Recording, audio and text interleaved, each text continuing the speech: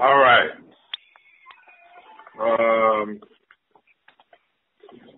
looks like we got about 10 people um, in the chat. Amen. We're going to go ahead and uh, and get started.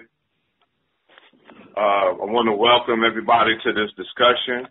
Uh, the topic of this discussion is for whom did Jesus' death atone for? For every individual that ever lived or only for his elect people? Let me repeat that topic again so if you want to jot it down or just uh, impress it into your memory what we're actually talking about. The title of this discussion is going to be on for whom did Jesus' death atone for? For every individual that ever lived or only for his elect people. Uh, my name is Mo Edwards and my opponent tonight, um, brother in Christ, uh, really don't really want to use the word opponent, but uh, the gentleman that I'm going to be discussing this topic with is Kris Williams. Um, the order of this uh, discussion is going to be we're going to open up with uh, approximately 15 minutes for our opening statement. Uh, Mr. Williams will go first. Um, we will have approximately five minutes or uh, five questions. Uh, either either one he wants to uh, either both of us will have the uh, option to either ask as many questions as we want in five minutes or ask five questions. It doesn't matter to me. However he wants to do do it. Um, so that would be our cross examination portion. Then we will both have a, a brief closing statement just to wrap up um, how we uh, how we or summarize uh, shortly uh, what our position is, and then we'll have a, a brief Q and A session. Um, I'll kind of uh, gauge how long we're going to go with that um, as we go along. As long as we're being respectful with the questions, as long as they're productive questions, um, we can we can um, uh, go on for a little while and ask questions. Uh, if they begin to be unproductive and we're just going in and um, I'll decide to cut it off. All right, so we want to ask some good questions, good honest questions. It's about truth tonight. Uh, we don't know exactly who will be, so um, we want to pre- want to present our, of our views, and then we want the people uh, by the Spirit to decide what their positions are. I believe both sides have good arguments. I've been listening to this debate uh, by different professors and scholars for argument on both sides, as far as I'm concerned. Uh, but tonight we want to bring a different perspective because I believe the more we talk about it, the more we study it, uh, and the more people uh, touch on the topic, the more uh, truth and perspectives come out. So, if uh, Brother Kris Williams wants to add something, uh, you can, brother, and then we're gonna get started. Um, the only thing I'd like to say is, um, yeah, I share a lot of sentiments as you. I hope that we can have a good, fruitful conversation, and that that God will be glorified in um in what He has revealed to us. So, yeah, that's that's that's all I like to share. Okay. Uh, let me look at this dashboard again real quick. Can everybody hear myself and uh, Brother Kris Williams loud and clear before we get started? Yes. I can hear you. Okay, good. Sounds good. Uh, what is the what is the last four uh, digits of your phone number, Brother Williams? Uh, uh, one zero five seven. Oh, sorry, one five zero seven. Okay, good. Okay, what's going to happen, everybody, is I'm going to mute everybody except for myself and Brother Williams, and then during the Q and A session, uh, I will open up all the phone lines. But what I'll do is I'll call the last four digits of the uh, uh, phone numbers that I have here in order. And if you want to ask a question or make a comment, you can. Uh, make it brief, and then we're just going to follow through all of the numbers. I will not share your whole number. I will just either share the area code, or well, there's a lot of of the same area code, so uh, I'll I'll share just the last four digits, and um, and you can make a comment or ask a question. All right. So I'll be muting everybody at this point. Uh, again, want to thank you all for calling in.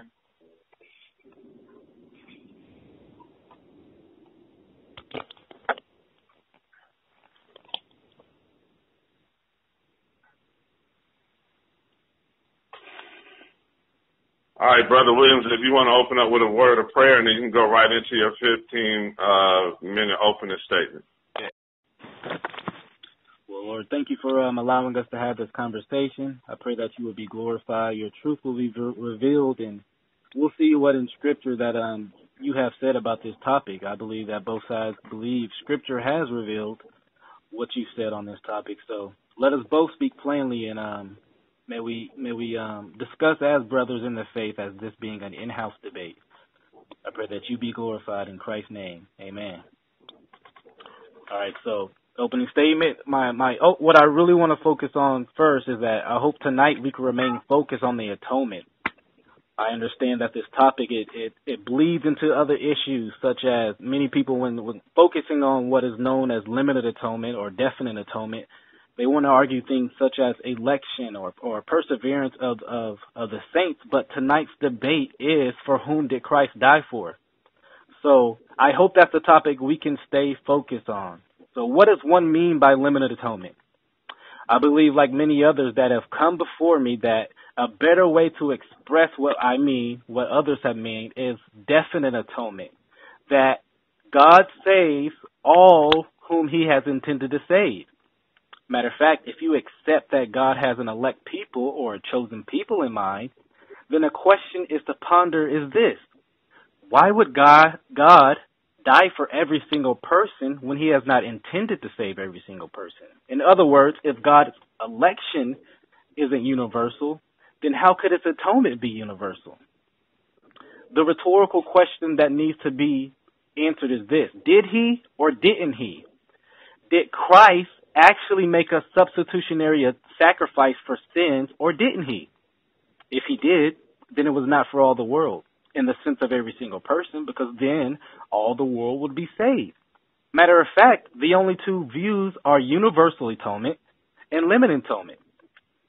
I would really, really stress to argue this point that my opponent actually agrees in a limited atonement because he does not believe that every person will be saved if you're not a universalist, then you actually agree with the the reform view on on on the atonement.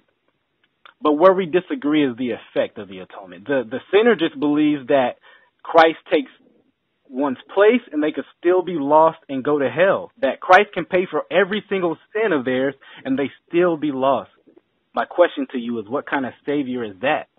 Is that the hope you want to put your is that the kind of faith you would want to put in a Savior who doesn't really actually save? He just potentially saves. The power of the effective atonement in the in the Arminian camp, I believe, is limited. I limit the scope of the atonement while holding that the power is unlimited. Christ can save whomever he pleases to. And I believe that's exactly what he's done and will do. Loraine Boettner expresses it this way let there be no misunderstanding on this point. The Arminian limits the atonement as the, does the Calvinist. The Calvinist limits the extent of it, and he said it does not apply to every person. While the Arminian limits the power of it, in itself, it does not actually save anyone. For the Calvinist, the atonement is like a narrow bridge that goes all across the stream. For the Arminian, it's like a great wide bridge that only goes halfway across. In fact, the Arminian places far more limitations on the work of Christ than does the Calvinist. I am convinced that I can tell a sinner that places their trust in Christ that it has the power to save.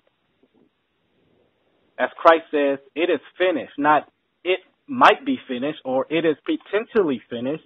It is actually finished. Christ accomplished the work on Calvary for all whom believe, his elect people that were given to him by the Father, as said in John 6 the work of Calvary is not dependent upon us human creatures. Now time for a biblical exegesis to, to prove what I'm saying. How about Matthew 121? This states that she will bear a son, speaking of Mary, and you shall call his name Jesus, for he will save his people from their sins. Notice that the text does not say he might save his people from their sins. Notice that the text doesn't say he will save his people from their sins if only they let him. No, that's not what the text says. It says he will save his people from their sins. Now the question that I would offer for those who disagree is, did he? Did Jesus actually save people from their sins? How about another text? Hebrews 7, 24 and 25.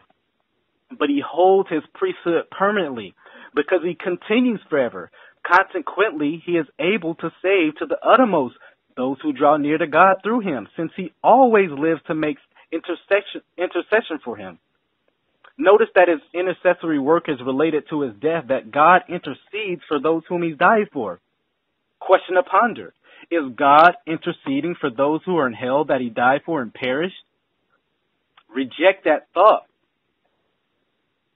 He substitutionarily died for his people, died for those whom whom he would whom would draw near as the text says. Christ has entered into holy of holies and actually obtained the salvation for his people. That is what I believe that Christ has done. He has actually secured salvation and eternal life. How could we just focus the the, the cross work on humans response humans actions towards it? Did God know that whom would accept or reject the atoning work of Christ before Christ went to come into the world? Could theoretically everyone have rejected the cross work of Christ, thus making the cross and the blood of Christ useless? Hear these words in John 17, 1 through 10. Allow me to read a little of this lengthy passage to you. It says, When Jesus had spoken these words, he lifted up his eyes to heaven and said, Father, the hour hath come. Glorify your Son, that the Son may glorify you, since you have given him authority over all flesh to give eternal life to all whom you've given. And this is eternal life, that they may know you, the only true God, and Jesus Christ, whom you sent. I glorified you on words, having accomplished the work that you gave me to do. And now, Father, glorify me in your own presence with the glory that I had with you before the world existed. I have manifested your name to the people whom you have gave me out of the world. Yours they were, and you gave them to me. And they have kept your word. Now they know that everything that you have given me is from you. For I have given them the words that you gave me, and they have received them and have come to know in the truth that I came from you. And they believe that you sent me, and I am praying for them. I'm not praying for the world, but those whom you have given me, for they are yours. All minds are yours, and yours are mine, and I am glorified in them. Now, if you follow the pronouns, you'll see clearly that Jesus is referring to a specific group for whom he is doing this for. Notice in verse 4, he actually says that he has accomplished the work that you have give, given him to do. Now, what was the accomplished work that Jesus is referring to? He's referring to his, his saving work at the cross. This is why we can glorify in Jesus. For a potential work, no, but for a, a, a atoning work he has done. In verse 9, he actually says that he's not praying for the world, but for those whom you have given me for they are yours. If you follow the pronouns, you will see clearly the, the, the doctrine that which I subscribe to being um, definite atonement is clearly expounded in John 17. Matter of fact, all throughout John's gospel. John 10, 14 through 15 says, I am the good shepherd. I know my own, and my own know me. Just as the Father knows me, and I know the Father, and I lay down my life for whom? The sheep. Not the sheep and the goats, but for the sheep. Whom are the sheep? Those whom he has given to, to whom the sheep are whom the Father has given to Jesus. Let's see this more in John 6, 37 through 40. All that the Father gives me will come to me, and whoever comes to me I will never cast out. For I have come from heaven not to do my own will, but the will of whom who sent me. And this is the will of whom who sent me, that I should lose nothing of all that he has given me, but raise it up on the last day. For this is the will of my Father, that everyone who looks on the Son and believes in him should have eternal life. And I will raise him up on the last day. Clearly, Jesus has a specific people in mind. Because the Father has a specific people in mind. Listen to the to the text.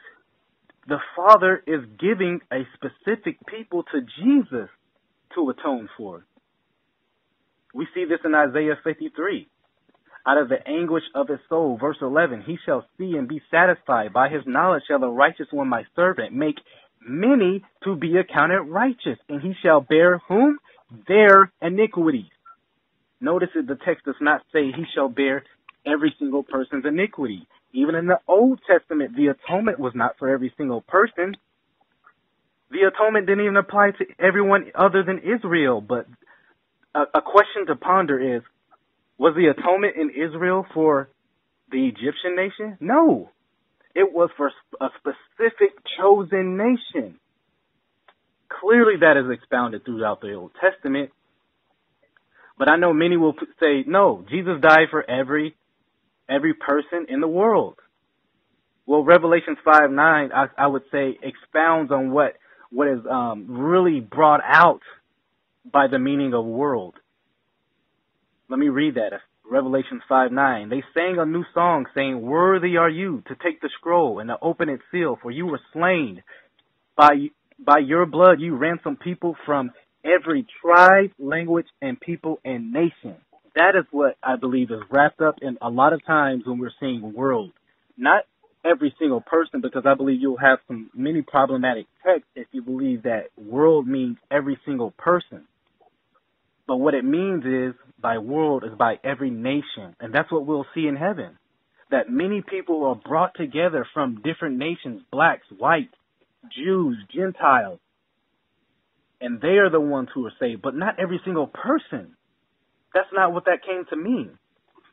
Now, just in case you think that I'm uh, ex- eisegeting the, the text, that I, I'm bringing up a new doctrine from Calvin or Luther, as many like to accuse, but this has been the historic tradition of the church.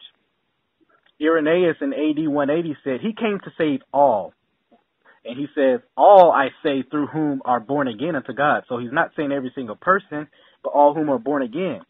Jesus is the Savior of them that believe, but only the Lord of them that but not believe. So he's saying that they're not the, he's not the Savior of every single person. Tertullian in AD 200 said Christ died for the salvation of his people, for the church. Julius in AD 350, the Son of God, by pouring out his precious blood, redeemed his set apart ones. They are delivered by the blood of Christ. Jerome in AD 390 said, Christ is sacrificed for the salvation of believers. Not all are redeemed, for not all shall be saved, but the remnant. He did not give his life for every man, but for many, that is, for those whom will believe. So my, my, my hope, my prayer tonight is that those who maybe have not heard of this doctrine, maybe you've, um, maybe you've been very hostile towards it tonight, that you would see that Christ actually saves his people, and that's what you can trust in. That's what you can be confident in. I'm not confident in my coming coming on my own free will, so to speak. I am confident that it was by the Spirit I came, and that by Christ's work I will not perish, and because it was a predestined plan by the Father. Salvation is Trinitarian. If you believe that the Father is trying to elect a certain people and Christ is trying to save everybody and the Spirit is confused, not knowing what to do, Man, that's disunity in Trinity. We cannot have that. That's why I believe this doctrine is is is perfectly expounded and, and it makes sense of all these texts that I've went to, and there's plenty more that I could have went to. But my time is approaching, and um, that's that's what I have to say in my opening um, debate. God bless. All right, we want to thank uh, Brother Williams for his opening statement. Uh, we still have everyone muted on the line. Uh, again, at the end of Uh, our cross-examination, we will have a Q&A. And so I will now present my opening statement and then we're going to the cross examination. Again, the topic is for whom did Jesus' death atone for? For every individual that ever lived or only for his elect people? Now, this topic has been debated for centuries. So most of the people that are listening to this discussion have heard the common arguments that have been presented on the topic. So I'm just going to attempt to present a few different ways of viewing the atonement of Jesus Christ.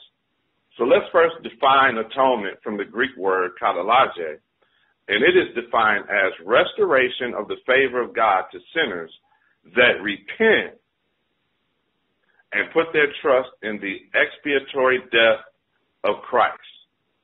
Okay, not those that are elect, but those that repent. So now let's look at these sinners, at who these sinners are, and look at who actually needed to be atoned for. According to Romans chapter 3, verse uh, 23, and Romans chapter 5, verse 12, all of mankind are born sinners, and so all of mankind needed to be atoned for. According to the topic we're discussing, now we must answer the question did God desire for all sinners to be atoned for? Let's look at a few scriptures. 1 Timothy 2, verses 3 through 6.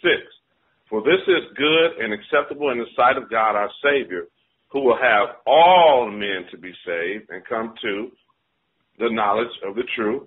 For there is one God and one mediator between God and men, not between God and the elect, but God and men, the man Christ Jesus, who gave himself a ransom for all to be testified in due time. 2 Peter 3 and 9. The Lord is not slack concerning his promise, as some count slackness, but is long suffering to usward, not willing that any, any should perish, right? But that all, now that word all is used a lot, should come to repentance. So we can see that if God desires that all men come to repentance and be saved, God must desire that all men be determined, uh, uh, atoned for. So, now let's look at who Jesus actually atoned for according to Scripture. Let's look at Romans 5 and 6. For when we were yet without strength, in due time, Christ died for who? The ungodly. Who are the ungodly? Just the elect? All of man was ungodly. Let's look at 1 John 2 and 2. And he is, is the propitiation for our sins, talking about the Jews, and not only for ours only, but also for the sins of the whole world. Okay? And then the Christian's favorite uh, passage of scripture concerning salvation, John 3.16. And we all know that scripture. I don't need to read that. But then Let's look at the revelation that John the Baptist had when he saw Jesus. In John 1 and 29, he said, it says, the next day John seeth Jesus coming unto him and saith, Behold the Lamb of God which taketh away the sin of the world. Okay? So it's clear according to these scriptures that Jesus died for the sins of the whole world, or was a propitiation for the sins of the whole world. Not a portion of the world, not for an elect group of people out of the world, but John said the whole world.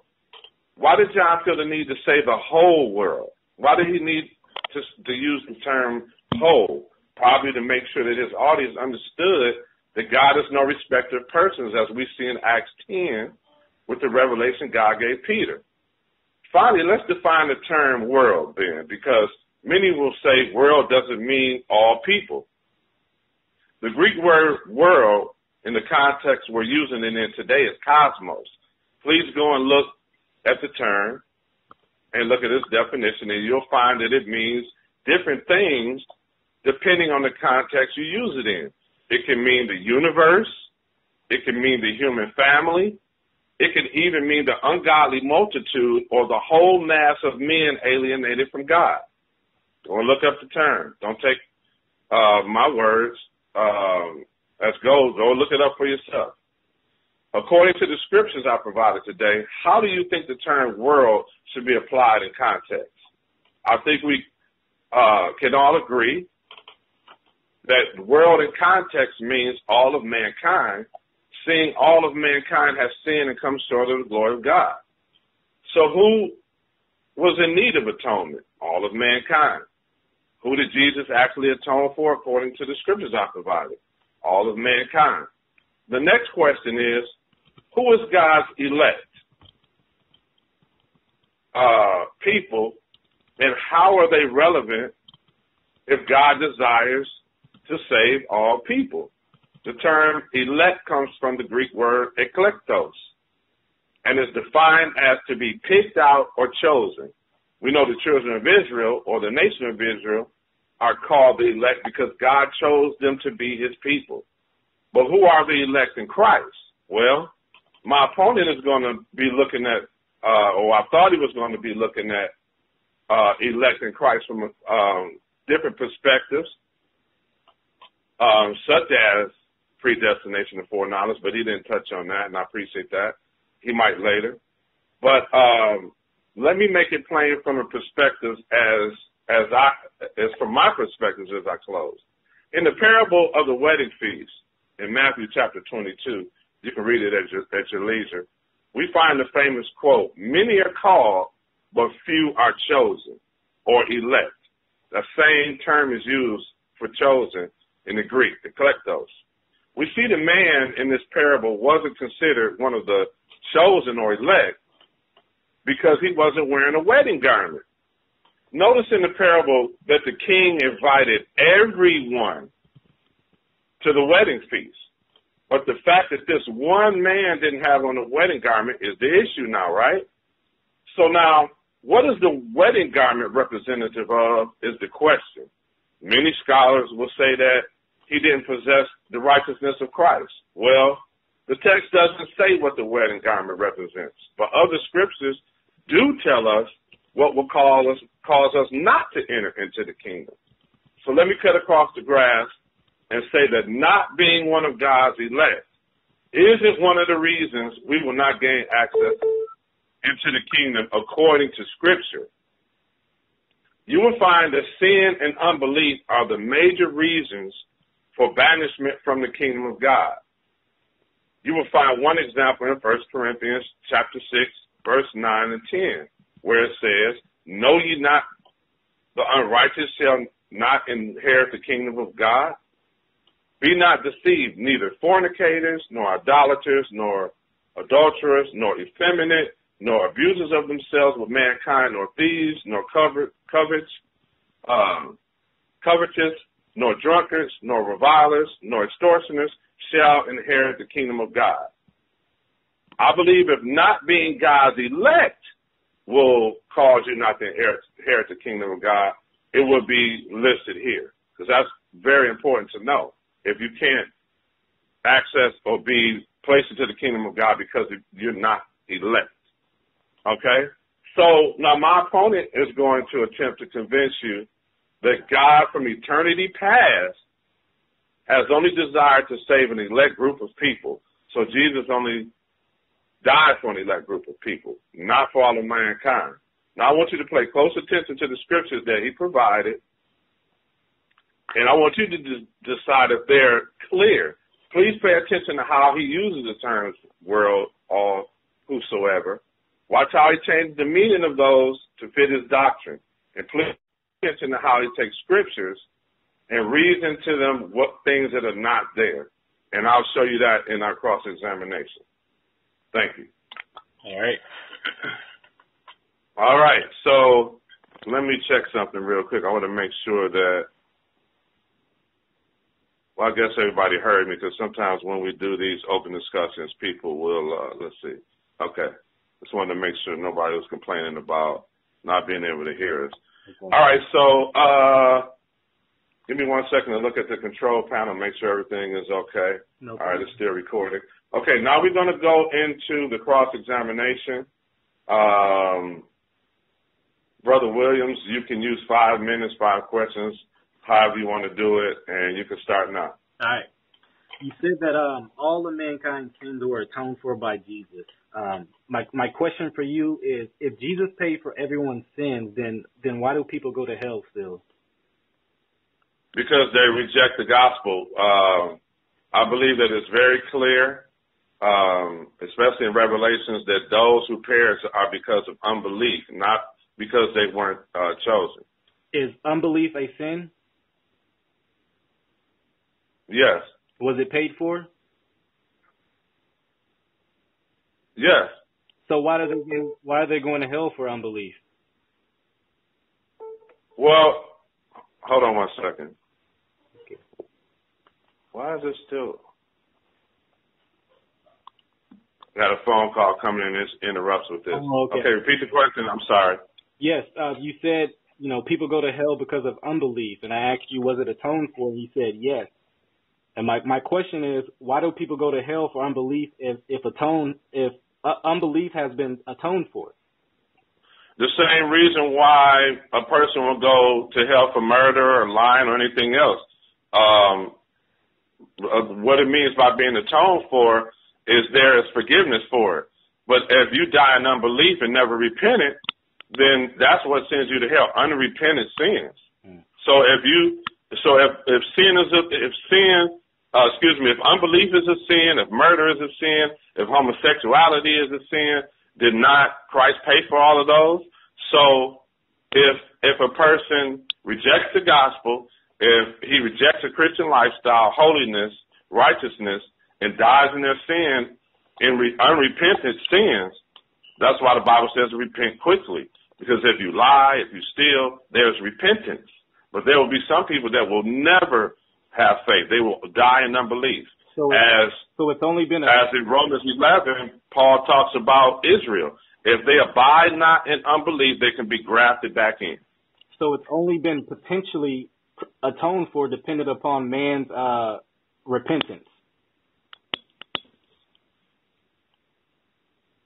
Well, it's it's just like anything else. If you atone for something or pay the the price for something, if somebody rejects it, that's that's their personal choice. It's still paid for though, so their their acceptance or rejecting it is, is I would say it's um, not sufficient. It, it really doesn't matter if something's paid for. It, it's theirs. It, you know. So well, let me let me say this. Let me say this to you based on the scripture you you quoted in Matthew one and twenty one. When it says His people, well, it's, I think that it, it's it's. Oh wait, hold on. I didn't finish answering the question. You can well, you can ask that during your your Q and A. Um, not not trying to be rude, but you know I only got a few minutes left. But um, if if atonement means actually the redemption of an accomplishment did Jesus actually accomplish his mission to save? If he didn't actually atone for anybody's sins, it was just dependent upon us. At the death of Christ, did he actually atone for anybody? Okay, that's that's the question that I was going to ask of Matthew 21 and 21. When he said he came for his people, did not his people still reject him, and did not are not some of his people still going to go to hell? He said he came for the lost sheep of Israel based on the prophecies from the Old Testament, and some of them will still perish. And he told them that it would. He even told them that he was going to give the kingdom to another nation because of their unbelief. So, did he not come for his own people, Israel? Yes, he did. So his so he doesn't actually atone. He potentially atones. Well, you know what? If you want me to be 100% honest with you uh, with that, when it comes to atonement, whether he potentially or not, again, like I said, if he came to die for his people, first the sheep, lost sheep of Israel, the apostles were sent to them first because he came for them first. If the, if some of them are going to perish, then how do you answer that question if he came to atone for them? Well, you have you have to reconcile that. Well, during, during your question, I'll, I'll, I'm willing to answer those questions. But will a person in hell be able to say that Jesus paid it all? Yes, and they rejected it. So what are they in hell paying for then? I just explained it. I explained it earlier. You asked me that question. I said that. You said for their if, unbelief, but if they're, but if Jesus has paid it all, then they shouldn't be in hell paying for anything. That's what I'm banking on. Okay, so we have two different views of what that is. Then, yeah. to be honest, because I believe that the world was was condemned and as it says, the wrath to come I believe that Jesus' death on the cross saved mankind from that wrath, meaning that there was no way out. There was no salvation before he for mankind at all. So be, before he died on the cross. Before- so before the, when he, when when John says he taketh away the sins of the world, what does that mean? I'm willing to answer that question, but right now uh, I'm I'm answering a- asking them. So is God Well, that, that's my answer. Okay? That's so, my answer. so is God trying to save man, but but he ca- he can't save them unless man lets them?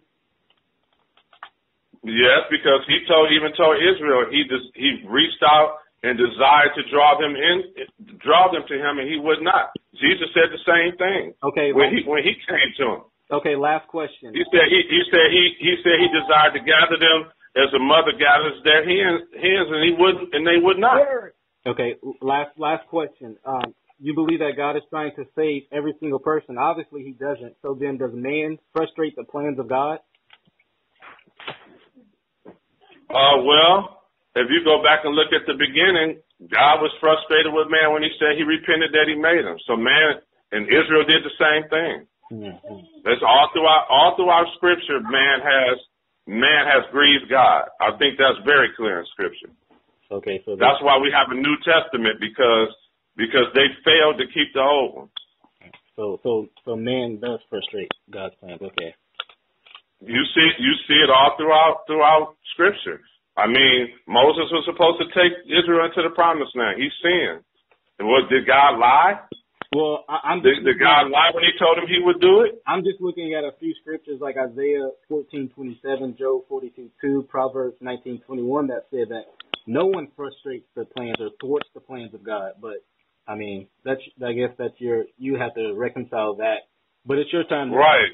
It's your turn for uh, questions now.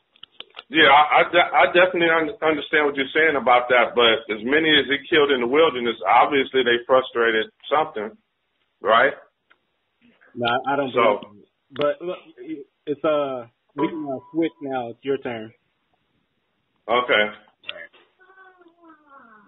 Um,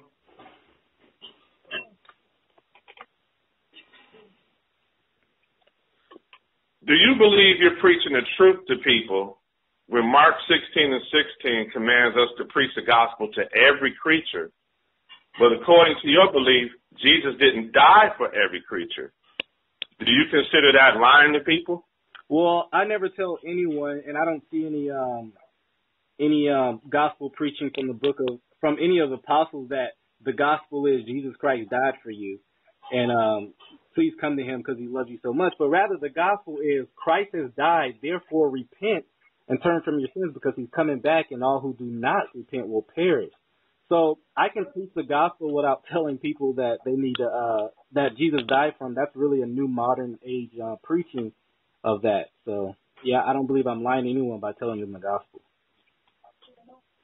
You said that's so. When, so First Corinthians chapter fifteen, when when Paul preached the gospel to them, saying that Christ died for their sins according to the scriptures, that's a new gospel. Was that a church he's speaking to or unbelievers? Th- He was telling them how they received their salvation. It didn't matter. So, so it would make it would make sense. It would make sense to to to tell a church that, yeah. But you never hear apostolic preaching for to for for them to tell unbelievers that. Right. But my my question to you was, if you preach the gospel, whatever that gospel is, if you preach it to every creature, it means you're lying to someone. If not every creature is elect. Like I said, I don't believe the gospel is telling people that Jesus died for them. I believe the It gospel. doesn't. Go ahead. But I'm not saying exactly what you're telling them. I'm just that you're preaching to everyone. Period. If you if everyone is not elect, then why would you preach to everyone? Well, because the Bible tells me so. That's that's that's primarily my first uh, position that I am obedient, obedient to God. So whether because because ultimately I would say actually you're lying to people because you're telling them that Jesus propitiated and atoned their sins, but they can still go to hell for it. He said, actually, you're lying. Okay, so um, do you believe there will be people that will believe the gospel and live a Christian life that aren't the elect of God? Absolutely not. Um, I was hoping we could stay focused on the atonement, but I'll answer your question. I don't. I believe that all who come to come to Christ are um, the elect, as um, it says in John six. I will cast no one out who comes to me. So the coming is actually a, a sign that you are elect, drawn by the Spirit of God. So I don't believe there will be anyone who lived a Christian life that is in hell. No. Okay. Um, where does Scripture teach God only desired to save some of creation? Well, I mean, many many texts like John six, where you see um, him saying he he he loses none whom he's uh. Matter of fact, let me let me go here. John six, all who the Father gives me will come, and, and, and at the end of the text it says he'll lose none, but raise them up on the last day. So um, no, no, no, no, no. I said, where is there a clear scripture that says he only desires to save some of creation? Uh, yeah, I believe that I answered that. Um, there's a certain no. Hold on, let me answer. There's a certain group who who who the Father gives to the Son, whom Jesus dies for in this text, and are raised up on the last day, and he loses none of them. Okay, that's not Okay, that's not answering the question, but that's cool. All right. Um,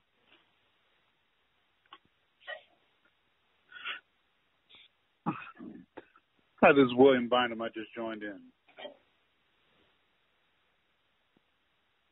Any any more questions? Okay. Um, Calvinists use Romans nine and the Jacob and Esau story to support the doctrines of election, salvation and reprobation. This this goes along with atonement. Okay. Can you show the people where the Old Testament story was about Jacob being chosen to salvation and Esau to reprobation, and not them actually being chosen to be progenitors of two nations? Can you clearly show the people that it was about one being saved and one being a reprobate? Oh, absolutely. And um, if you go down to uh, I'll start at verse 10. It says, Not only so, but when Rebekah had conceived children by one man, our father Isaac, though they were not yet born, had not done either good or bad, in order that God's purpose of election might continue.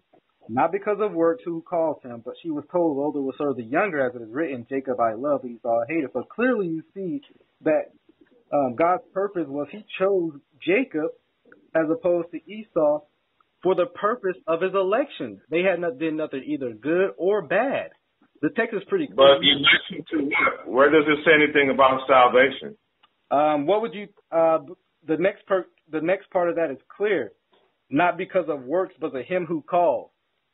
That that that is a gospel call. That is a a. a well, no, no, no. In that in that story, what did salvation was not even offered to them at that time. So what?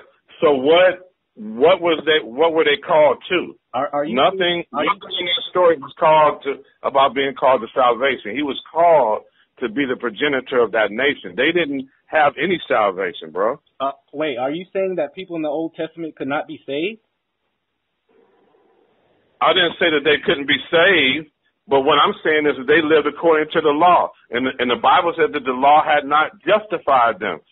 Um, um, the law came by Moses, grace and truth came by Jesus Christ. They did not have the salvation that the church has. Um, I, I would I would refute that point heavily because of passages like Romans four and Hebrews eleven that says that Abraham is the father of faith. He, Abraham was justified by faith. Same gospel we have in the New Testament is the same gospel in the Old Testament. I, I, I'm not sure how you get that out of uh, okay. passages like that. If that's the case, why would Jesus have to die for his people if they were already saved? because the cross works retroactively. Just like to today, uh, we look backwards to the cross as they look forward to the cross. Okay, so when when in Romans 11, when Paul talks about the salvation of his people, did he not understand that they were already there was no salvation in the law? Right. Well, so what? So what is so? Jacob and Esau, what were they being offered? Salvation? I mean, was Jacob being offered salvation? No, we don't. You don't see that at all in that text. Well, they aren't being offered anything. God is choosing whom he will show his grace, love, and mercy to. Before the Right. And he told their mother that there would be two nations, not one saved in her and one unsaved. There'll be two nations in her, right? So do you? Well, it's your Question. I, I would say for anyone who takes that view, what would they take Pharaoh as? Uh, uh, what nation would Pharaoh represent? Because it's pretty clear that Pharaoh understood that he was being hardened by God for the purpose of election. For the purpose to show his mercy and his wrath, not his salvation and reprobation. You're reading into it something that's not, there's nothing about salvation and reprobation in there, period. The terms are not used not once. Mer- but you you use salvific words like mercy and and, gr- and and grace. How is that not salvation? Because the, because David talks about salvation, but it was salvation from his enemies because it meant deliverance, not eternal salvation from sin, brother. So David, are are you saying David wasn't saved? I'm saying David was looking for that hope of salvation in the Messiah. Did they all were looking for the Messiah to come. He had not yet come, right? When they all weren't they all looking for the, the the Savior Messiah to come for for their people? I would, I mean, that's very obvious. I, I would I would point you to passages like Hebrews 11 for that because it's clear that they had faith in Jesus. They had faith in the Christ to come. But to come, he had not yet died for them yet. That's my point. All right, so um, I think that we we got enough going for the uh, cross examination. Really appreciate that. Yeah. I think we brought out a lot of uh, things in that opening statement and the cross examination. Great. Um, you can give your closing statement, and then I'll give mine, and then we'll have Q and A. All right.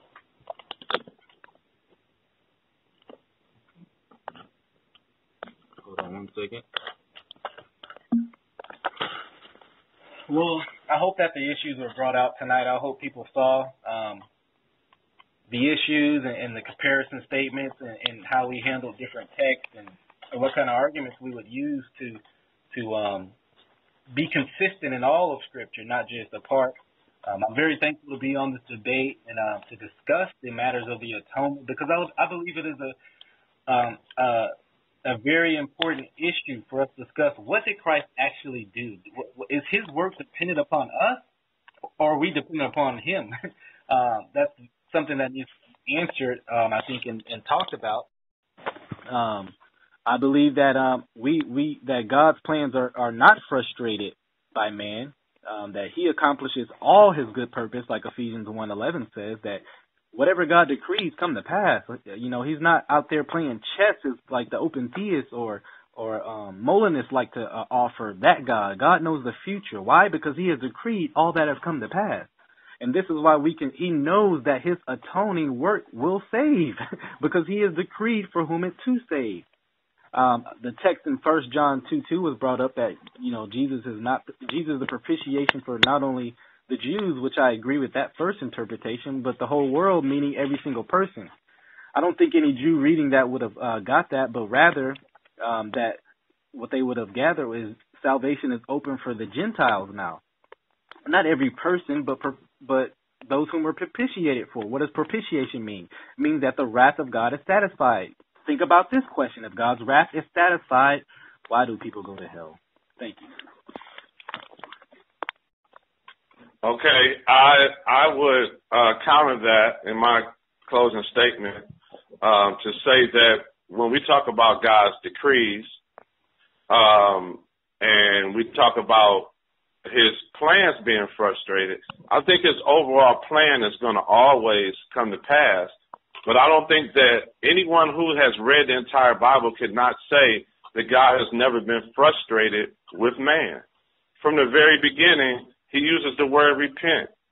He changed his mind for even created man that they were so wicked and frustrated him to, to the point to say he repented, he made man.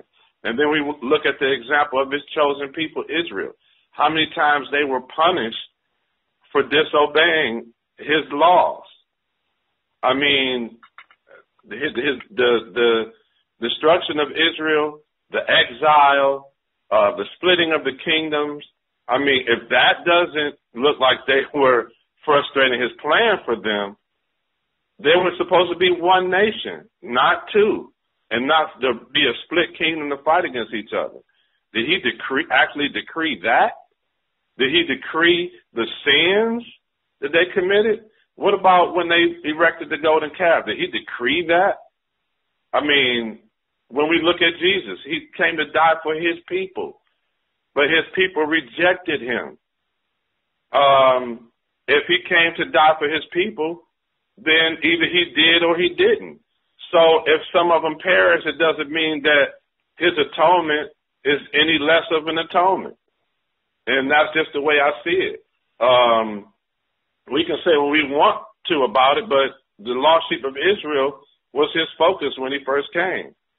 And many of them rejected him.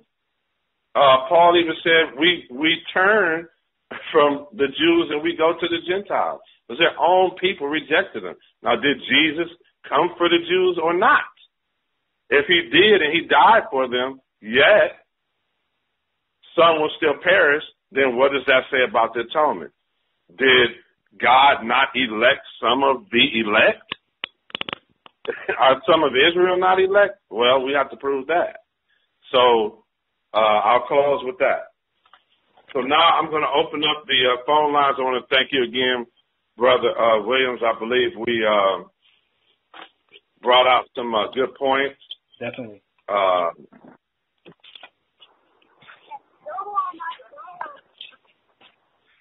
okay, what I'm going to do is I'm going to, uh, for the sake of distortion, I'm going to mute, uh, I'm going to unmute uh, these phone lines one at a time, and then I'll re, uh, mute it.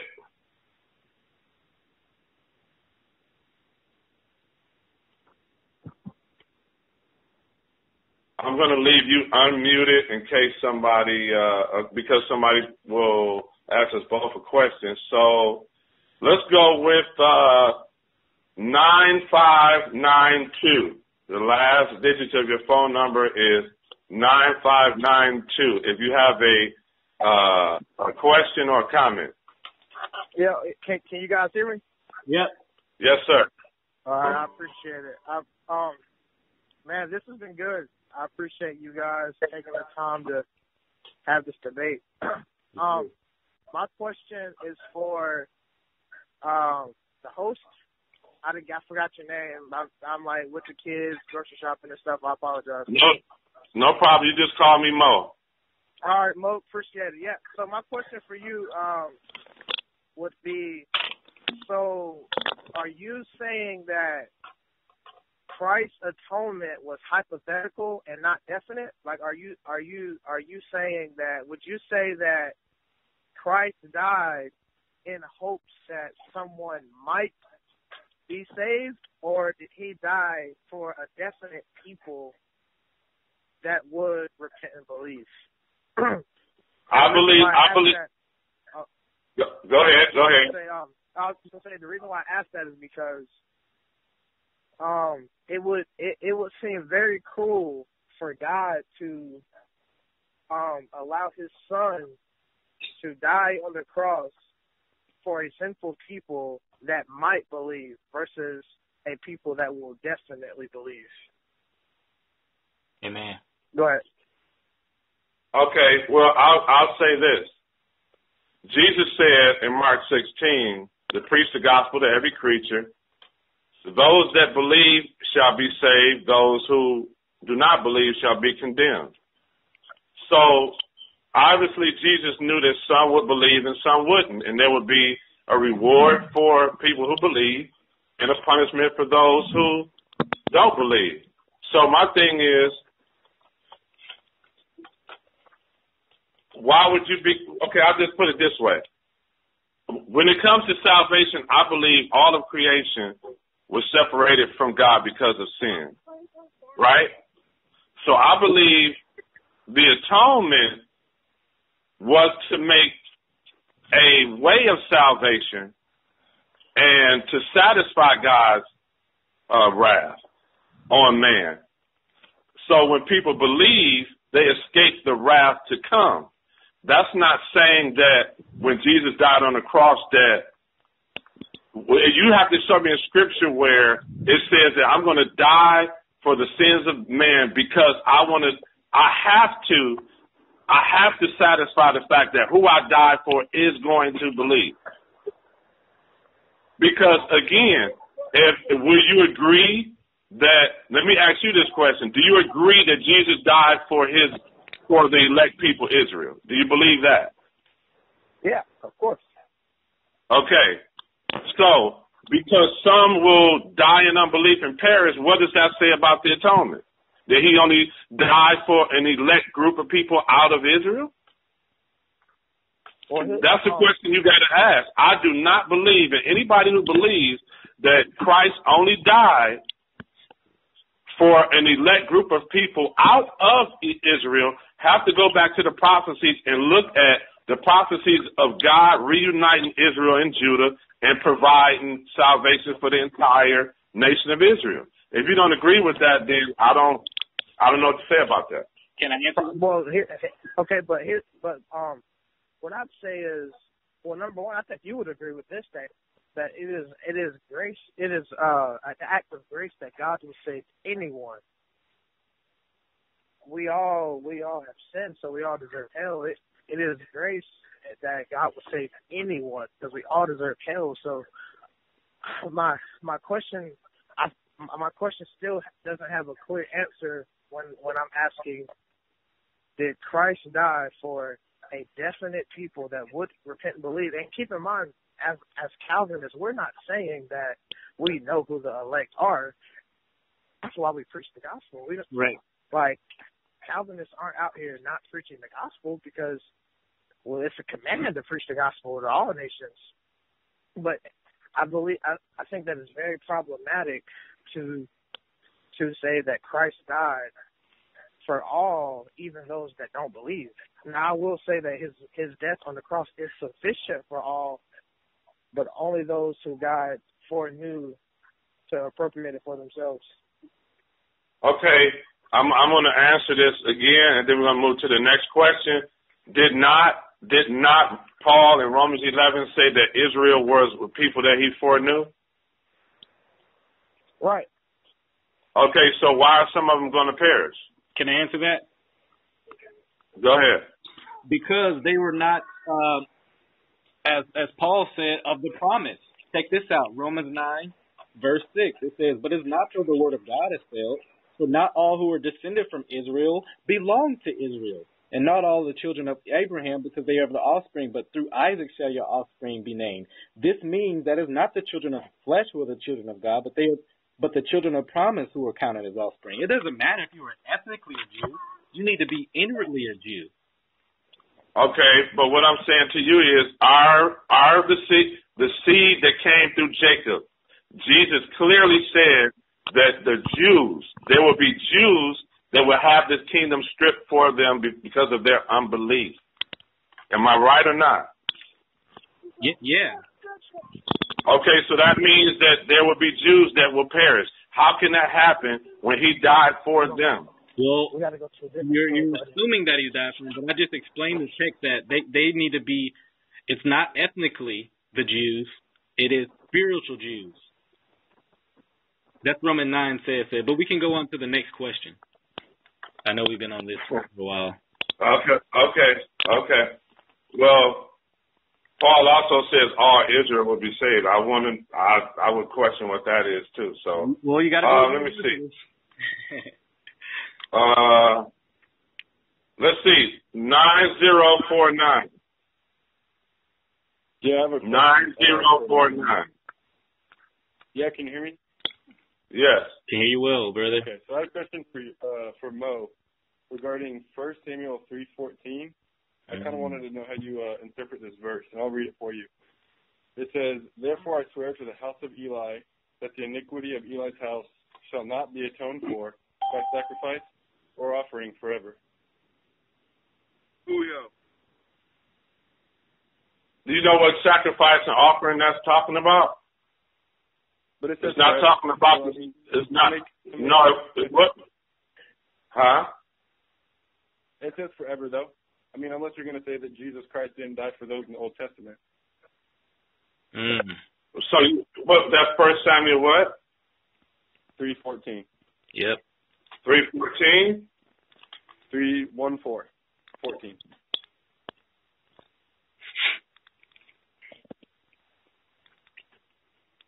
Yeah, I've uh, ran into that text earlier this week.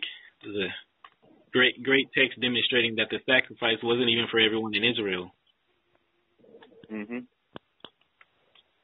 but we'll we'll brother look at them and um, turn it from. Now, I mean, I would understand the. Oh, what is? Well, you know. Okay. Okay. You do y'all remember what happened in this text? I know what it's talking about now. The house of Eli the priest. hmm That's that's irregardless, though. No, yeah, yeah, but that has Regardless. that that was a that was a punishment on Eli's house. It has nothing to do with Jesus' is atonement for them. So was Jesus a sacrifice? That's my. Let me start it off this way. Was Jesus a sacrifice? Yes, but it's, it's talking about the Old Testament sacrifices. So Jesus was not a was not a sacrifice for anyone in the Old Testament. No, that's not that's not what I'm saying. What I'm saying is Well, that's why I asked that question. Eli's house has nothing to do with the lost sheep of Israel as a whole. Jesus said he came for the lost sheep of Israel. Who were who was that? Well, so I might misunderstand your argument. Are you saying that Jesus Christ died for every single individual uh, forever, or just just Old Testament every single person, and New Testament only for believers? Jesus died for the, all of mankind. Even Okay, even, so- even those in hell before it, it him. doesn't matter. It doesn't matter if they're Israelites or not. Honestly, it doesn't matter if anything. The only the only thing that matters is is Jesus Christ a sacrifice? I think we would both agree that he is. And then uh, is is the atonement limited by the uh, number of people or not? And I think it's clear here when it says it shall not be atoned for by sacrifice or offering forever. If it didn't say forever, I could see the interpretation you have for that text. But the key word there is forever. Um, and so that does include Christ. Unless Christ Um, well, that's Because well when you look at Christ is the fulfillment of the Old Testament sacrifice. when you look at um, when you look at Romans chapter eleven, I think Paul is very clear about the about salvation for his kinsman Israel. I think he he didn't exclude anyone in Israel. So you're saying Scripture goes against Scripture, is that correct? I'm saying that Paul said that Israel will be saved that they continue not in unbelief. That's that's not what he That- said. I mean, He said he- Israel will be saved. Yeah, those who re- he said those who remain not in unbelief shall be grafted back in again. I don't. That's what he said. I don't- Now we disagree. No, we I, disagree No, on I- the I- sacrifice of uh, First Samuel uh, three and fourteen. Well, it's not I just disagree. It's not. It's not we disagree. It's simply you're putting uh, Paul's writings versus versus the Scripture right here, which I think is very dangerous to put Scripture versus Scripture, um, because it does say that that some someone, whoever it was, was not atoned for, um, and therefore we cannot affirm an unlimited atonement because then that would make this Scripture very inaccurate. Unless you're going to say this Scripture doesn't mean um, what it says, which is okay. Um, that's what I'm asking though. Does, this, does the Scripture mean what it says, or does it mean something else? hold on, hold on, Brady. I, I want to challenge the reading of uh, Romans 11 that was just quoted. It does not say I knew you were going to want to do this. Yeah, it does not say because of unbelief. It actually just says this, and in this way all Israel will be saved. That's all it says. It says nothing about unbelief or or sin. It says they will. Be, so if you believe all Israel will be saved, I don't know how you're not a universalist. At least for Israel. Okay. Let me let me go to that. Let me pull that text up so I can show you what I mean by what he said when he said unbelief. Uh, because he was talking to the Gentiles and he was telling them not to boast in their salvation because those who uh, were blind were uh, were blinded for a season. He said that they can be grafted in again if they abide not in unbelief, and I'm going to find that right now. right. Okay. You're you're speaking. I do have I do have one more question as well. Uh, once you're done, uh, looking that up and finding it and everything. Just FYI. You're speaking of uh, verse. Okay, two. go ahead. Go ahead, Brady. I was gonna I was gonna let you finish first, unless you want me to ask the question Yeah, now, because it's gonna yeah. go to a different text. Yeah, we can go. Yeah, we can go to whatever you have. Okay, so um, you mentioned in First John two two Mhm. where it says He is the propitiation for our sins, and not for ours only, but also for the sins of the whole world. Um, Yeah. What is what is the definition of propitiation? It is um give me one second. Okay. Amen.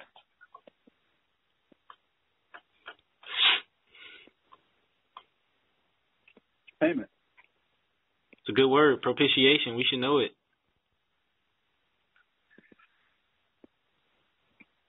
Stupid.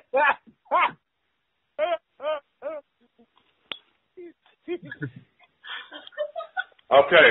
Um I was trying to find this script scripture. I'll um I'll find it in a second. But um from from the teaching that I, that I have and the research that I've done on it applied to to scripture as well as the definition is an appeasing as if uh as if Christ appeased or satisfied the penalty for sin. That's the best way that I can define it. Now we can go into the Greek and it'll talk about appeasing and that that's the definition that I would give for it. Okay, so he, so so you would agree that propitiation means God appeased or uh, Christ appeased God the Father's wrath, correct? Exactly. Okay, perfect. So, um, what sends us to hell? Is it is it God's wrath? His characteristic is it God's wrath that sends us to hell? Uh it is is sin and unbelief that sends us to hell. Yes, but but on God's characteristic trait, other than holiness and justice, is it also God's wrath? Is that al- is that also why we go to hell because of His wrath? Um I believe that his wrath is going to be the penalty. I don't believe it's because of his wrath, it's because of, of his laws and his statutes. That if we Okay. if we disobey go ahead. Okay. So so even with that, um, even though we disagree a little bit on that part, um, Well, the scripture says his wrath is that that we escape his wrath to come, right? Right. Well, sure. I mean, his wrath to come is send us to hell. Um, so propitiation is Christ appeasing that wrath. No, his wrath to come is going to be the penalty. His What's wrath to come is going to be the penalty on those What's the penalty? we cast into the lake of fire. The second death is the the final penalty. Okay, great. So so yeah, we're agreeing then. There's no disagreement. Um, but so All right, so let's move on to the next question because you've asked like two or three of them. I appreciate it though. All right, so let, me get, let me get to the second question.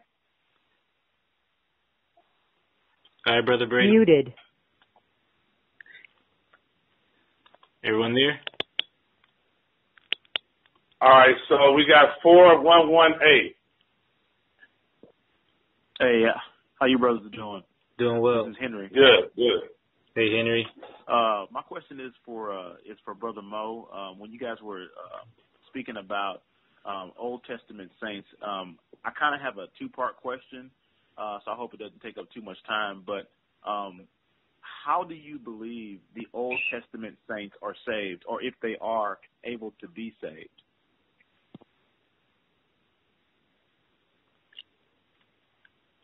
That's a good question. Um, I believe I believe those that those that died in faith. I believe that um, they are covered. Um, but then that's something that I have to research a little further because when you look at Romans chapter three, it says that that the law did not totally justify them. So correct. so so so to be honest with you, because I'm not going to, you know, sit on this call act like I know all things.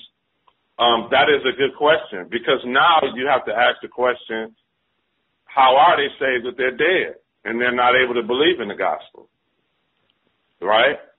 Correct. So- And I, I, I think I think you guys were going to touch on it. Uh, you kind of you kind of kind of uh, talk past each other when uh, you guys were kind of addressing Hebrews chapter 11. Um, just from my personal exegesis of Hebrews chapter 11, I think it gives a clear path on what the saints look for, and their salvation was in the Holy One of Israel, namely the Prince of right. Peace, namely you know the you know the, of course the wonderful Counselor, which we know is Jesus Christ. And so, if if we look at that, they're looking at a definite Savior. And so, I guess my final question to that is is that if the Old Testament saints looked look looked in the future, or rather were looking for that definite Savior, and you could take people like David, where he says, you know, my Lord will not let um, you know my soul suffer in hell, you know, it, I mean, I mean, et cetera, et cetera. Um, these Old Testament saints were looking for a definite Savior. So I think that, that breeds an exegesis that lets us know that Christ does definitely save a specific people. Okay, so let me ask, let me ask you this: Sure. Does God does God did, did, did Jesus die for only a portion of Israel? Only a portion of Israel? Yeah. Did he was was there an elect people out of the nation of Israel, or or did all or, could, or was the promise to all of, of Israel the Savior? Yeah. Was was, yes. was the Savior promised to all of Israel, or just a po- a portion of Israel?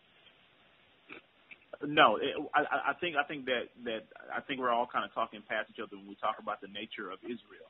You have you have ethnic Israel, which is Old Testament Israel, which is the actual people that were called, which were the seeds of Abraham.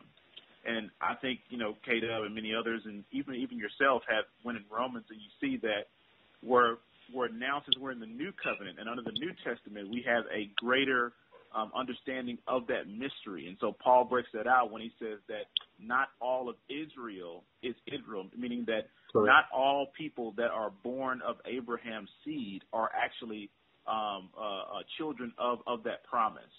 So you do have Israel as an ethnic people, but God is not concerned about saving ethnic people. He is concerning he, he, he, he is more concerned about saving all people and nations and tongues through which salvation is definite for.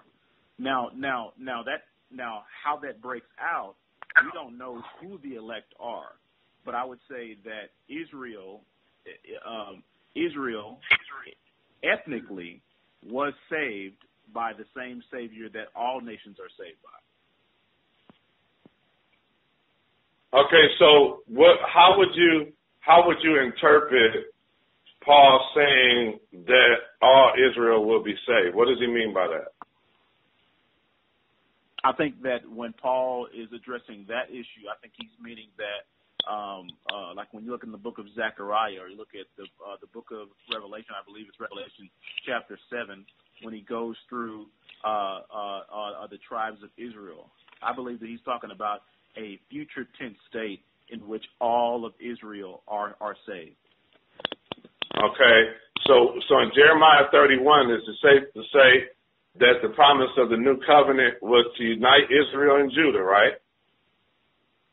Yeah, yeah, I would agree. Okay, okay, so and then we're gonna move on to the next question because Sure. when when it talks about when it talks about not all of it, Israel are, are Israel, I believe just what it says about the Jews are are are known inwardly, but then I believe that he's also talking about how the true Israel, the nation of Israel, who were given the promises, came Uh-huh. through I came through Isaac and Jacob. That's that's just that's what I believe. I don't I don't believe that there's a portion out of that. I believe that when anytime they, there was a prophecy to Israel, the prophecy was to that covenant people that came through the seed of Isaac and Jacob. That that's that's what I see Scripture teaching, and I don't believe, and I don't believe that Christ only died. Excuse me. I said there's a spiritual aspect to Israel, though, not just only ethnically. Right.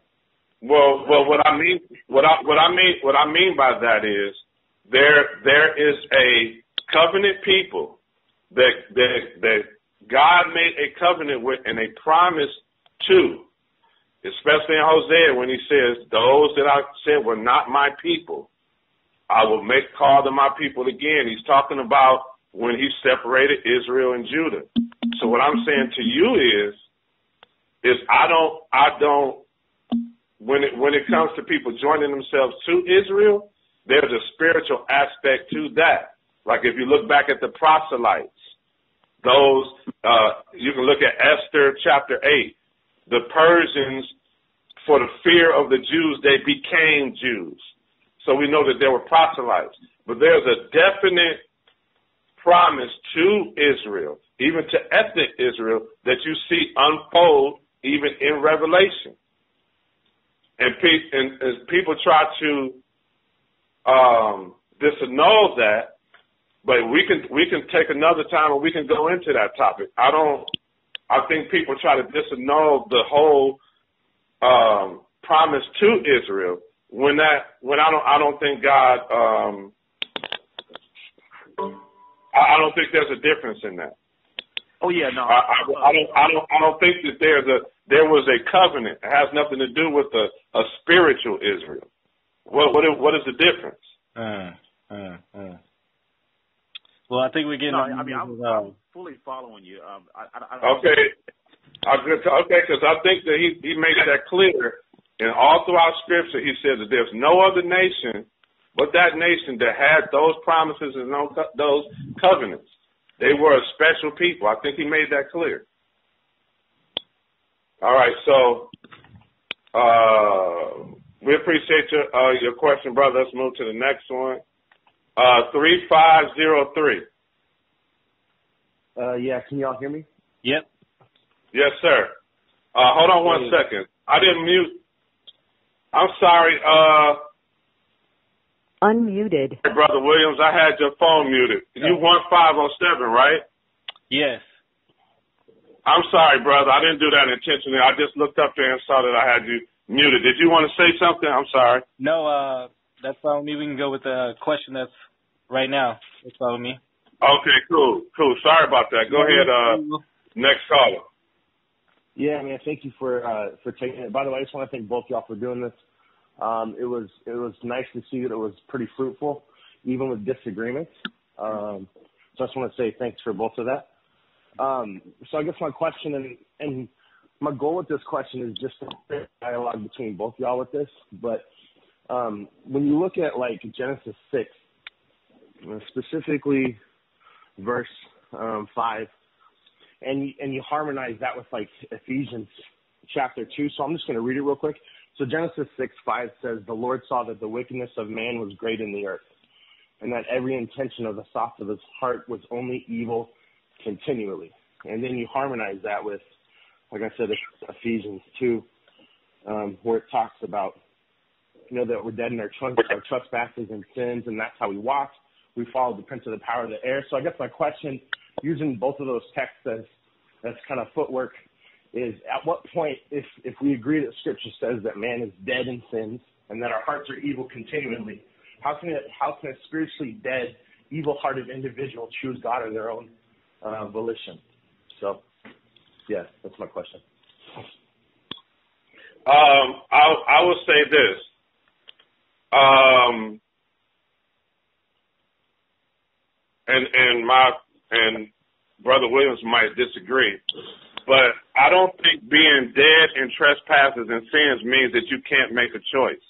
I don't see that in anywhere in scripture and I don't see that anywhere in the meaning of being dead in your trespasses and sins.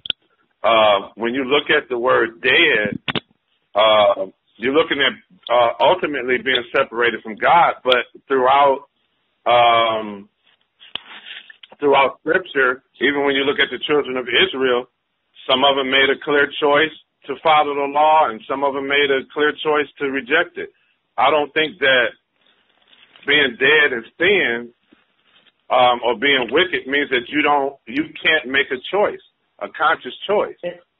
And Um, if I may, why why I added Genesis six in the mix is because I think that if we see the the condition of man's heart, and that his heart was evil continuously, like the text says, if you're evil, if your heart's evil continuously, why would you even? You're not bent on anything but evil. Why would you choose God, who is obviously not evil? He's good. Okay. Well, let me ask you. Let me, let me ask you this. Um, if if we are to say that the Holy Spirit is what regenerates, um, many will say, especially the Calvinists, and I, I agree with it, that the Holy Spirit, um, through the gospel, can regenerate a man's heart, right? Right. Okay. Um, if you say that a man cannot choose at, at any point in history of mankind to do good, then y'all can teach me, and I, maybe I can learn tonight on how did Abraham choose to be someone of faith and believe. Well, I believe if I can answer that, I mean, I believe that it was touched on a little bit before this, you know, and I think that Kris did a real good job of saying that the cross was retroactive, but um, you know, Abraham was one that sought righteousness, and I believe that God was the precursor to that. We see in Ezekiel 36, you know, and that has a broad meaning, but you know, that the Holy Spirit is one that is behind turning our hearts of stone to a heart of flesh, so that we will be bent towards okay, God's ways. but that was a prop, but that was a prophecy of what he said he was going to do for for Israel and Judah. He Yeah. said, "I'm going to." Saying that that was a prophecy, right? That was going to Mhm. happen in the future for them, right? Yeah, I, I, I completely agree with you. Okay, And so my question, my question there. to you is, is if you're saying that man's heart is wicked continually, then how does Abraham and Noah be found righteous? That's my question. May may I? Yes, and I'm happy. May Well, I go ahead, go ahead, bro. You can. Yeah. Yeah. Um, first, let me. I want to answer uh, the first question about uh, maybe. Well, maybe correct their understanding about that. Calvinists believe that choices aren't made. Uh, no, we, we we believe their choices are made. I, we just believe that uh, doing spiritual good cannot be done. Allow me to read Romans eight seven. It says, "For the mind that is set on the flesh is hostile to God, for it does not submit to the God's law, and it cannot." Matter of fact, if you're not a Christian, if you're not regenerated by the Spirit of God, you can't even submit to God's law. Um, to answer the second question, um, how did Abraham do it? Well, I think John three is clear. You can't even see the kingdom of God unless the you know the Spirit does His work. So I would say the Spirit was on the on, on the scene doing doing work in Abraham uh, in th- in those days as well. So that's my answer. Okay, so so we go back to your to your question again, brother. What is what was your ultimate question with with those two scriptures again? Yeah. No, so my ultimate it was it was kind of like trying to harmonize the two, and just to provide context that Scripture interprets Scripture. So uh, Ephesians two was kind of the jump off, but I wanted Genesis six to be the supporting kind of text that our hearts are our hearts are evil continuously, and we can't um, we can't choose God because we're spiritually dead. So like how how can a man on his own volition, on his own without God moving in any way, choose God if the Bible says that you're spiritually dead and your evil heart is that way continuously? Okay, so we are going to agree that even though the scripture doesn't clearly say that the Holy Spirit did anything with Noah or Abraham's heart, we're going to just say that that it it must have. Is that what we're going to say? I, I think John three is clear with Jesus teaching. The Spirit must do His work for anyone to believe or see the kingdom of God. Well, we're not talking about seeing the kingdom. We're just talking about, according to Genesis 6, he was saying that man's heart is wicked continually. So I'm just saying, before the gospel and before the filling of the Holy Spirit, I was just at, countering the question with how did Noah and Abraham, be, before the gospel and before the filling of the Holy Spirit, how did they choose to do righteous? Before the gospel, I I I, I mean Genesis three fifteen presents the gospel pretty well in Old Testament form. Okay. I believe the gospel was All right. I I roll with that, but I, I'm I'm seeing it a, a little different than what we're talking about as a whole. But um, Maybe we can just. I, I get. I, I got I got you. All right, thanks a lot for the uh, question, brother. Let's um, Yeah, yeah. God bless both of y'all, man. Thank God bless. you, brother. okay six six eight two. Hey, brothers. Uh, Rob Reese here. Just uh, wanted to say I enjoyed the conversation and Kris, uh, I just wanted to say you were very gracious, um, and as well as the host, I appreciate this conversation.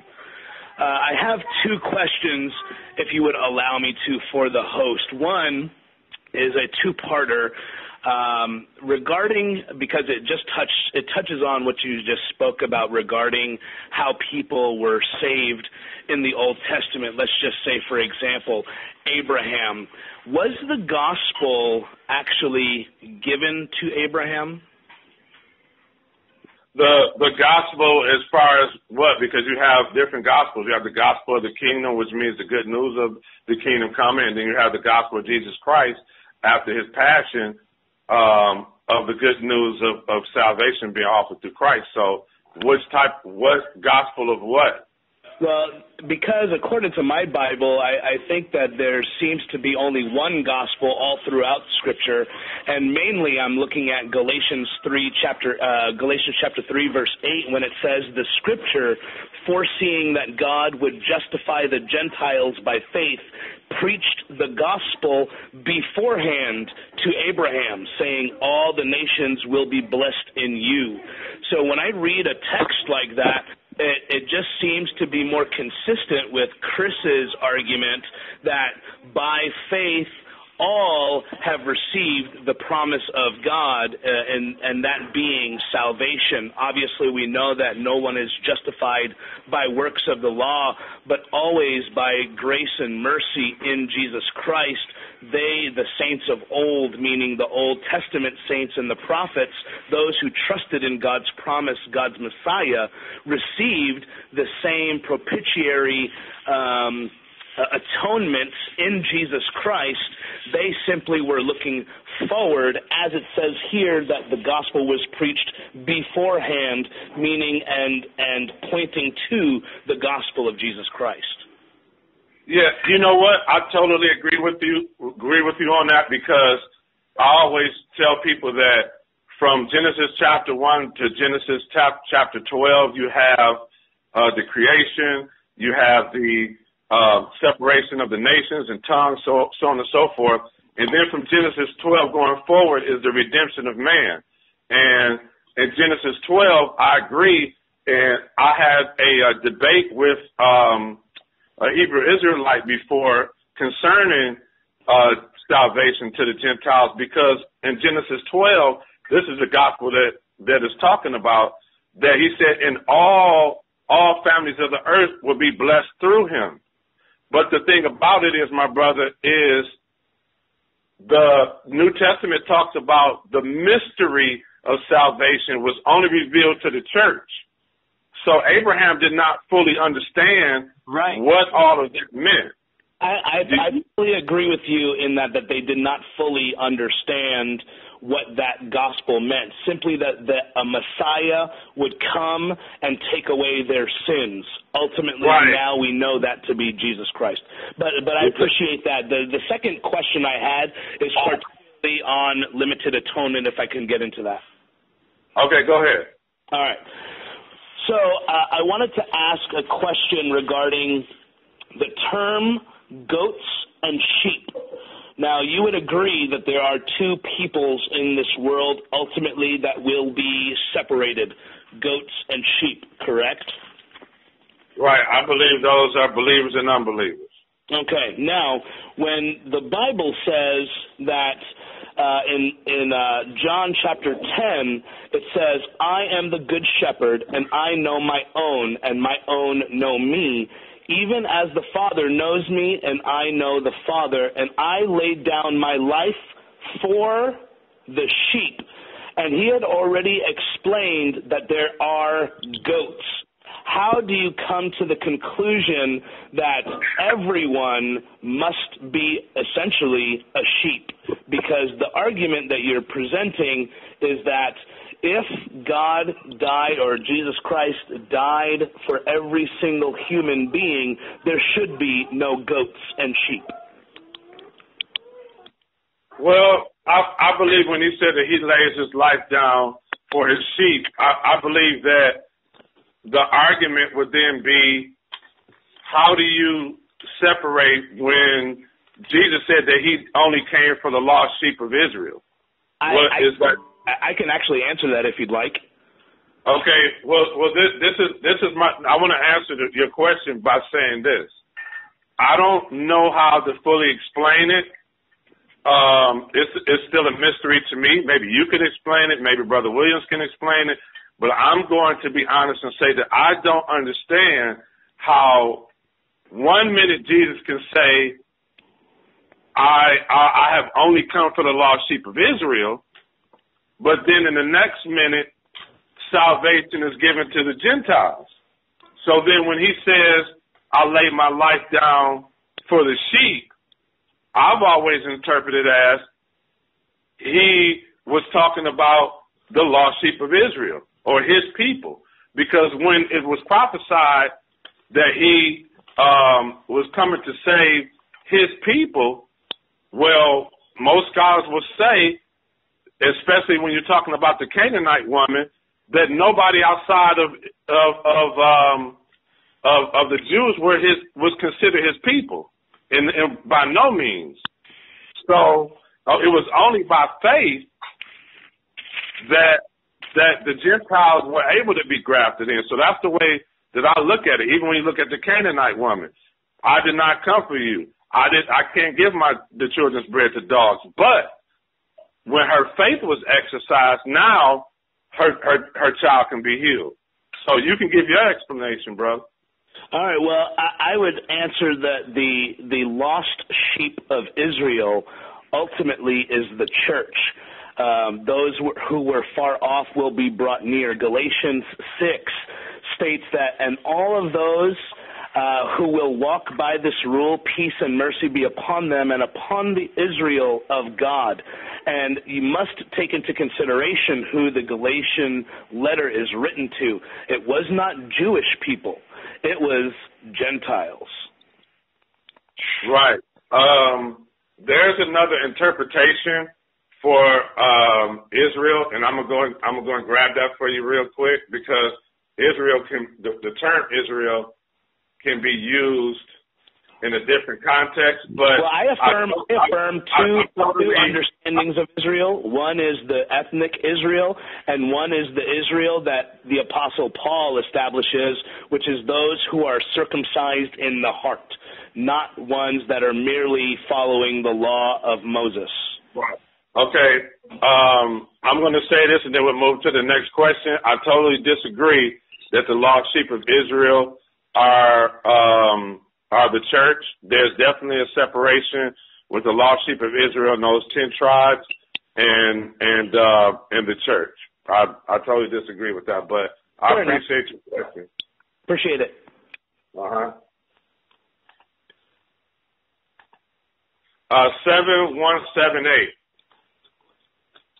What's going on? Um, I see that you reference uh, Romans 11, 25 through 27 a lot when you say, uh, how can all Israel be saved?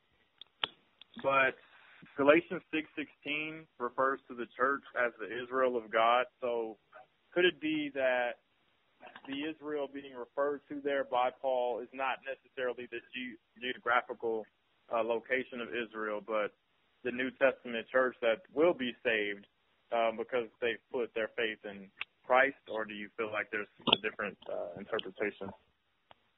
I believe it's a different interpretation because Paul is very clear that he's talking about his kinsmen and not the church.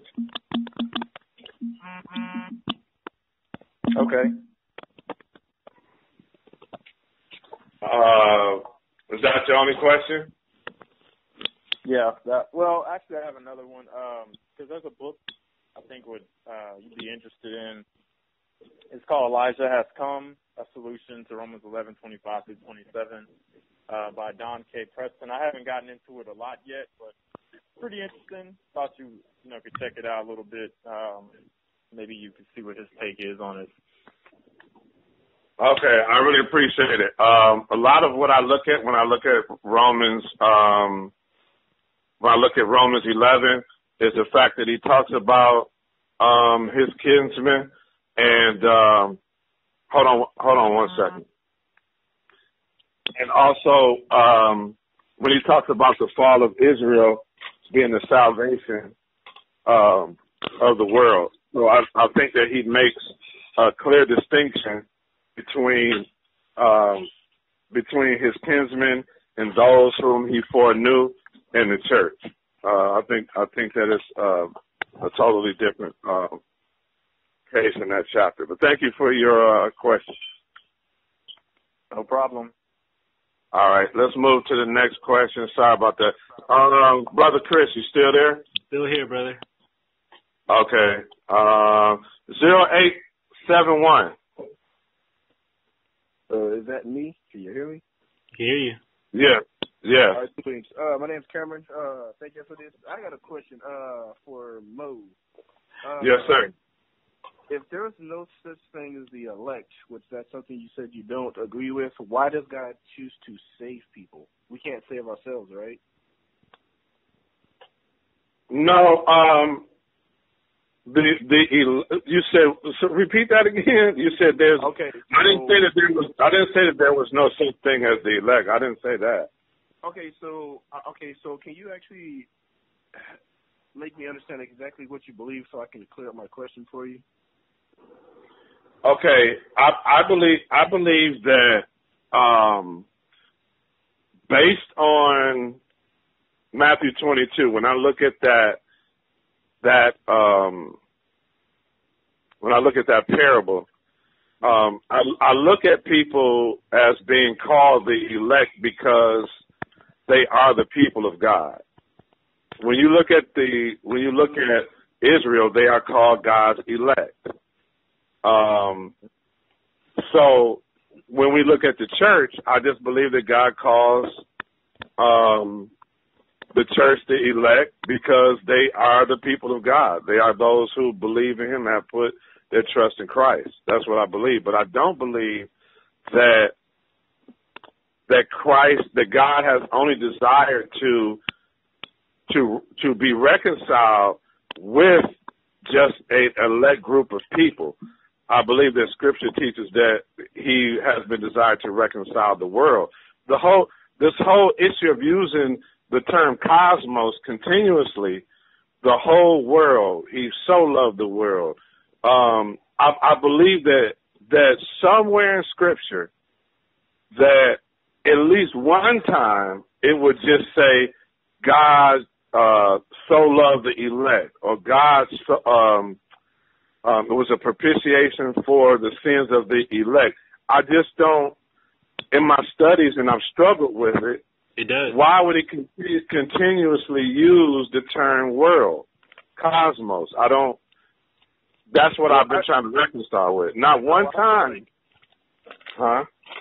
I was gonna say I feel like when he says the whole world because the uh, elect that he chose to save is all over the world. That doesn't mean he actually died for everybody, every person, every soul on this on this planet. Right. Because But that- but that- wouldn't exist. But that, but you know what? That is, if you want to be honest, two people can say, well, you can say that, and the next person can say the whole world, and which one of you can really say the other is wrong because the scripture doesn't say certain people out of the whole world. It says the whole world. So you both can go back and forth. I, I would. At least, at least, well, at least. it the- says the elect. I, I, well, I'm not saying the world. It's all decreed. I'm not saying the world, Mo. I'm not saying the world means the elect. I'm saying in context, it doesn't mean every single person. Um, in John three sixteen, I think you would have a have a problem if you you if you're saying that world means every single person. Because in John seventeen nine, Jesus says He's not praying for the world. Okay, so so why did that that that text right there? I struggle with that one too because in the verses following, he turns right back around and talks about that he prays that the world will see him. How do you explain that? It's, it's like maybe five verses down, he switches gears and says something totally different about the world. Nobody talks about that part of it though. I, I'm not seeing what verse you're speaking of because I'm I'm seeing here where he's saying. Um, okay. I'm not. What that that's John that's John seventeen, right? John seventeen nine, correct. Okay, hold give me one second. I'm gonna show you something that a lot of people I don't know if they neglect to read it, or if they don't go down that far, or if they don't, or they might just interpret it a different way. But I'm here. Give me one second to find it. No problem. Uh,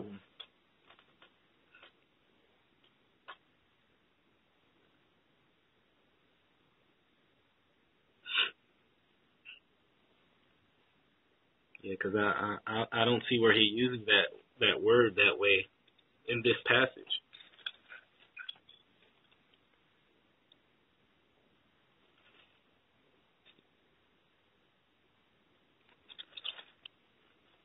Okay, so he talked about not praying for the world, right?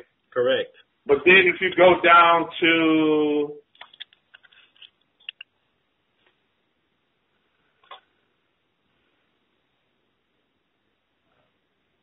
Because he uses the word world quite a bit in this passage. I mean, I haven't did a word count, but quite a bit. okay, listen to what he says right here. What verse? He says, let's, let's, let's start with verse 18. As thou hast sent me into the world, even so have I also sent them into the world. And for their sakes I sanctify myself, that they might, that also, that they might, that they also might be sanctified through the truth. Neither pray I for these alone, but for them also which shall believe on me through their word. Now watch this. That they all may be one, as thou, Father, art in me, and I in thee, that they also may be one in us, that the world may believe that thou hast sent me, Mm-hmm. and the glory which thou givest me, I have, I have given them, that they may be one, even as we are one. Mm-hmm. What does that mean? Well, um, what I was doing with that. And then, and then, and, and then in verse 23 it says, I in them and thou in me, that they may be made perfect in one, and that the world may know that thou hast sent me and hast loved them as thou hast loved me. What does that mean? for the foundation of the world. So we have three three places where we see the word world being used three different ways. I would say world in Jew and Gentile, uh, world as in the, the world system, the evil system, and world in the sense of creation. Three different ways being used. And I would say that Okay, but wait a minute. Okay, so if you say, so let me ask you this then. If he says in, in one breath, I pray not for the world, what, which world is that? I'm saying it's the, the evil system. The who? The evil system, the evil age. Okay, and so when he says that, when he, in verse 23 that he talks about being perfect in them, that the world would know that he sent him and that he loves them, who is that? Which world is that? I would say that's that's uh, referring to the openness of the Gentiles because earlier he says, "I do not ask for these only." I would say that's the Jews, um, but also for those who will believe in me through their word, and I would say that's the opening of the gospel to all nations. Okay, see, I don't see that. That's where people can interpret it. Like it, it just depends on your position. Because world means it don't say say that there though. Well, It, that's just what you you interpret it as. It doesn't say every single But- person. No, it doesn't, but it does say What world. you have to ask is who's more consistent with what John is writing and his intention. That's something. All right, all right, brother. I just wanted to show you. We want to use that term world, and people say that he prayed not for the world, but you still got to go on there and reconcile what he means by that the world may know that he sent him, and that he, you can say, oh, it's just uh, world means just the Gentiles now, or just. I mean, anybody can come up with their own interpretations, but I appreciate you, brother. Okay. All right. Where where's the Arminians at?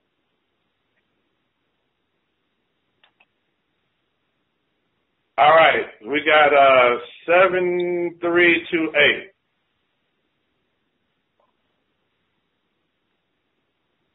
Hello. Seven three two eight. Okay, let's move to the next one because it's almost nine o'clock. Three nine seven two.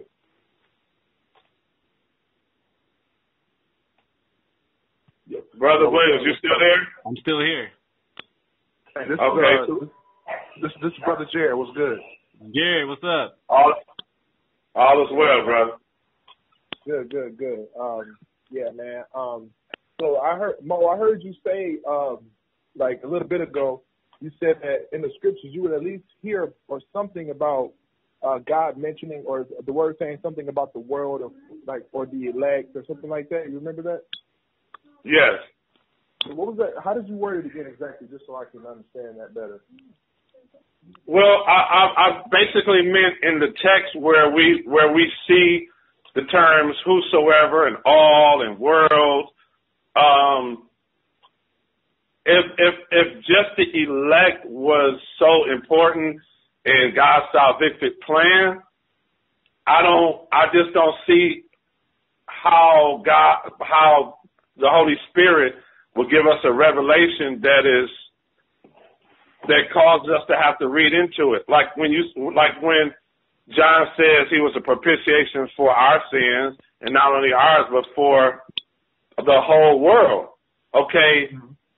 Why use the term whole and world, whole world, and not say he was a propitiation not only for ours, or I'm, I'm, he's speaking of the Jews, but also for the elect, which means, okay, he was not only a propitiation for our sins, for Jews, which I would, would question if God is, if Jesus just died for the elect people out of all people, what made the Jews feel like they were so special?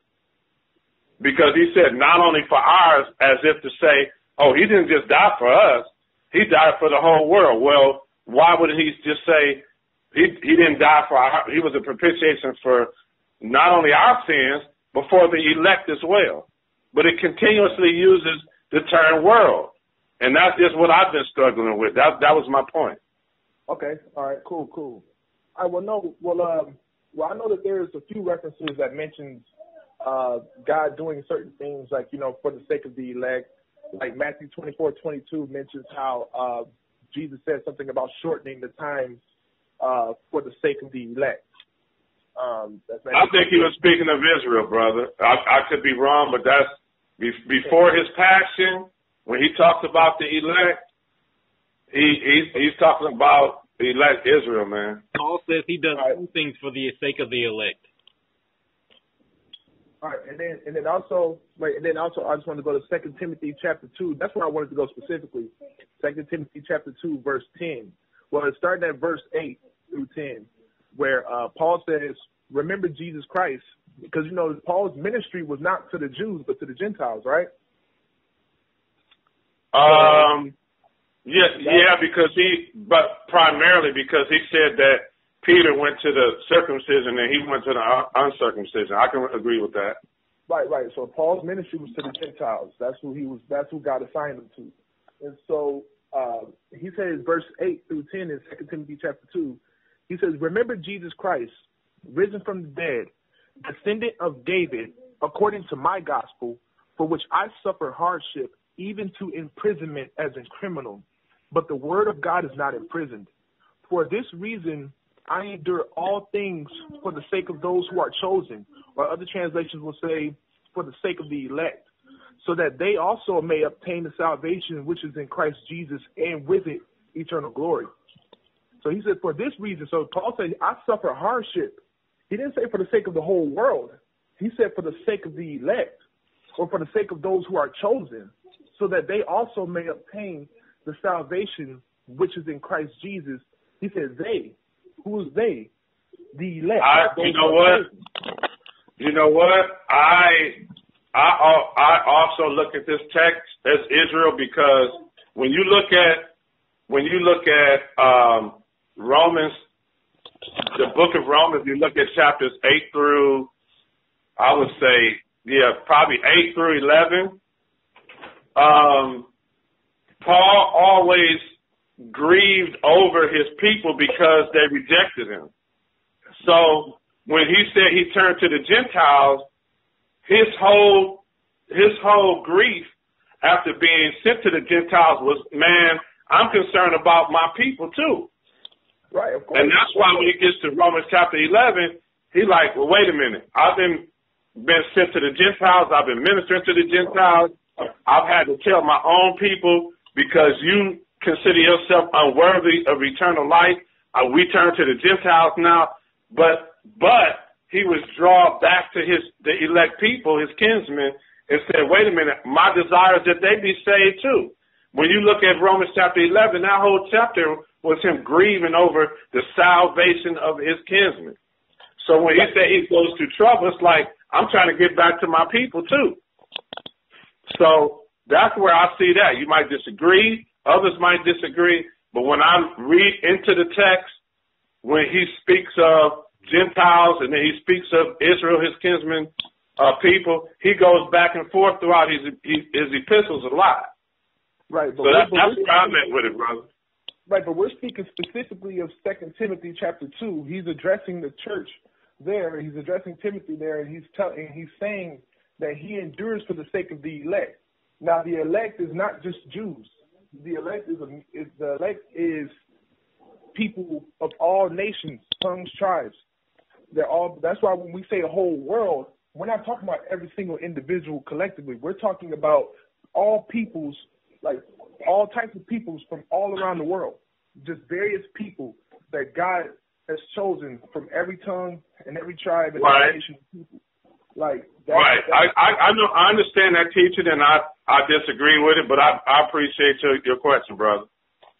So so when you read Second Timothy chapter two verse ten, you see I, that he's talking who he's so you see that. I just right, I just answered that. So going back and you asking me again is not going to change it. I mean, I'm just saying, how do you see that? Okay, because I, I have, I have a uh, commentary right here. He said he suffered cheerfully. Said, I endure all things for the elect's sake. So observe, good ministers may and should encourage themselves in the hardest services and the hardest sufferings with this, that God will certainly bring good to his church and benefit to his elect out of them, that they may obtain the salvation which is in Christ Jesus. So next to the salvation of our own souls, we should be willing to do and suffer anything to promote the salvation of the souls of others. So the elect are designed to obtain salvation. So God has not appointed us to wrath, but to obtain salvation. This salvation is in Christ Jesus, in Him as the fountain, the purchaser, and the giver of it. And it is accompanied with eternal glory. There's no salvation in Christ Jesus without it. Like the sufferings of our apostle were for the elect's sake, for their confirmation and encouragement. Paul said, I suffer for the sake of the elect. He didn't say I suffer for the world. Jesus said, I do not pray for the world, but I pray for those that you have given me. Like that's there's there's consistency there. He didn't say I pray for every single person. He said I he he said I pray for those whom you have given me. And he said I've come to do the will of my Father. I've come to you know get the ones that you've given me. Those are the those who Jesus came for, the ones who the Father had foreknew from the foundation of the world. That's who Jesus Christ died for and paid for the sins for. The Father foreknew, He chose us, He sent His Son to redeem us, and He sent His Spirit to regenerate us. That's that's what that's what that's our world. All right, brother. I appreciate that. We appreciate your and that uh that commentary. Uh we're gonna move to the next question, but again we appreciate that. All right, the last we're gonna have the last question for one five two three. One five two three. How you doing today? Great, great. Good, good, good. I appreciate I appreciate this uh this time. It's been really interesting listening uh to what everybody has had to say. Um the thing I I just have some thoughts if I'm gonna share. Um the things that, that I run up against um as one who believes, you know, in election and predestination, all that, you know, whatnot, what I run up against and what's frustrating to me is that we don't talk about um, humanity as it is. We know humanity has fallen, and we talk a lot about the inability, um, but when we focus on the beauty of humanity. Like I was having a conversation with a friend of mine the other day about being made in the image of God. We would all say um, that we're created in the image of God, and and it's a beautiful thing. Um, but when we look at that, and we look at the fact that in God's grace that we have also still been given the ability to create, to think, to have emotion, and all these things. Um, I think what ends up happening, regardless of if you if you say that uh, you believe election or you believe this complete uh, free will, we forget that we're still held accountable, held accountable to God's judgment, just in the fact that we were created in His image, and we have somebody to answer to. That's for both sides. Are you following me so far? Yeah, I'm, I'm following you. Oh, all right. All right. Um, I think that what ends up happening is we get so far into whether or not uh, you're predestined or elect or you have free choice um, that we forget that at the end of the day, you're made in God's image. That's a beautiful thing. You're beautiful, intricately woven together. That should make you want to know who you're made by. As Christians, period, that makes us stand in awe and want to know God. But it also it also uh, makes us ask the question, why am I drawn? You know, for sure we would agree that we're drawn, um, and that's that's why that's why we know God.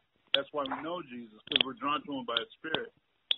But but I think that sometimes we we get it the cart before the horse per se that we focus so much on whether or not you can choose or you can't as opposed to why you should or why you don't.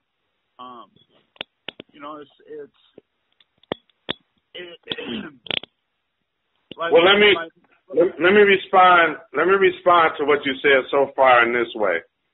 Yeah. Um,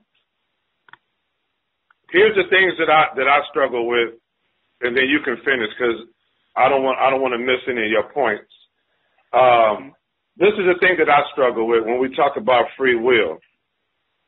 I believe that most people who uh, have carefully read the scriptures will agree that um, Israel had free will. Um, I believe that um, we would agree that some chose on their own to follow the law, and some chose on their own um, not to. I believe that um, we can see in some of the kings that Israel had.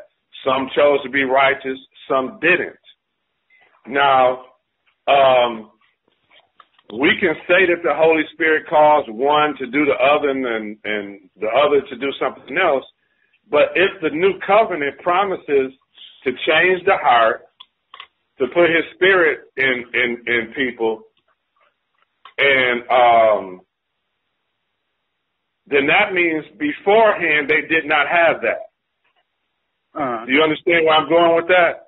So obviously they had their own free will choice.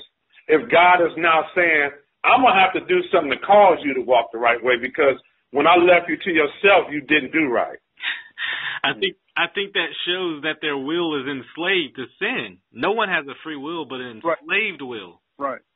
You know. No, but what I mean is, what I mean is, some of them, some of them chose righteously, and some chose to do evil. we can't say take one without the other. If you if you are enslaved to sin, or if man is wicked and, and, and um intentionally or, or uh, continually, then what about those that became the remnant that he said didn't bow their knee to Baal and did keep his laws? How did they do so? Well, if he had not yet put his spirit in them, they made a choice. I, I would disagree with that. The, the assumption is that that when you see someone do a good thing, that the assumption is that they did it on their own will. But I think the script is pretty clear, and um, I, I think it's Ezekiel or or, Jer- or Jeremiah. I can't remember which one, but it says that can an Ethi- Ethiopian change its skin? Can a can a leopard change its spot? Neither can you, who are accustomed doing evil, do that is with do that is do good. pretty much saying all. I would say that all of humanity is accustomed to doing evil. Therefore, Yeah. by, by nature, default, we cannot do that which is good, which parallels with Romans eight seven. Okay, so are you telling me that that no one in Israel, and no no no one in Israel, and no king did good? In their own will, yes, exactly. Okay, so why would why would why would God tell them to choose life and death if they didn't have the ability to choose? Well, God tells you to be perfect. So are you saying that man has the ability to be perfect? No, I, he said choose choose ye this day whom you serve, and then he says choose life or choose death. If they don't have the ability to choose life or death, why would he ask them to choose? Well, if, if I can jump in on just on that point right there, um, if that's all right. yeah, go ahead. Go go ahead, brother. Go ahead. Yeah. So, so you mentioned John three sixteen, and I'm connecting it to exactly to to this because it's a it's a great question. Um, when we look at John three sixteen, we we end it we leave John three sixteen, and it's like, oh, that's a beautiful romantic scripture, Right.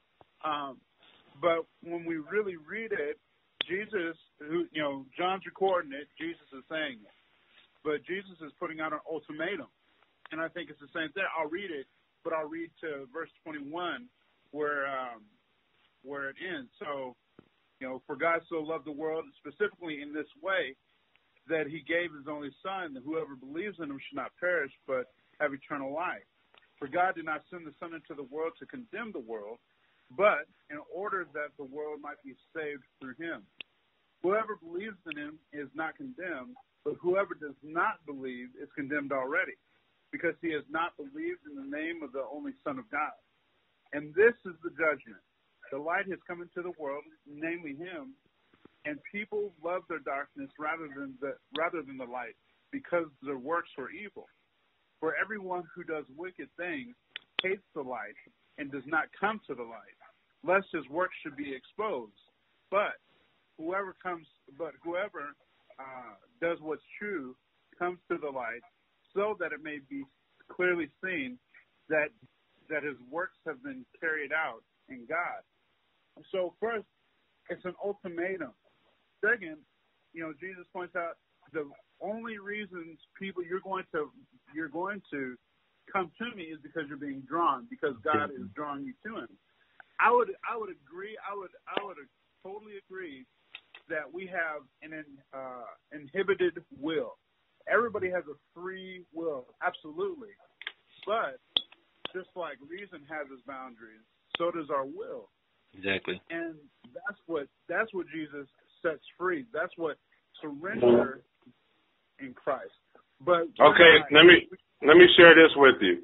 If you look at if you this, this is this is what um I believe. No, I, I wouldn't even say most Arminians um um would would would teach, but this is what I look at when it comes to drawing. If you look at the parables, this is this is where I try to compare drawing and the the calling of the gospel and those who are called is the parables that Jesus gave of the kingdom. And so when you look at, at, at scriptures like Matthew 22, he's, the, the, most scholars will say that the, um, the king that's represented there is Christ calling, uh, Christ and his, his calling and his general call to people, right? So the king calls everyone to the wedding feast, right?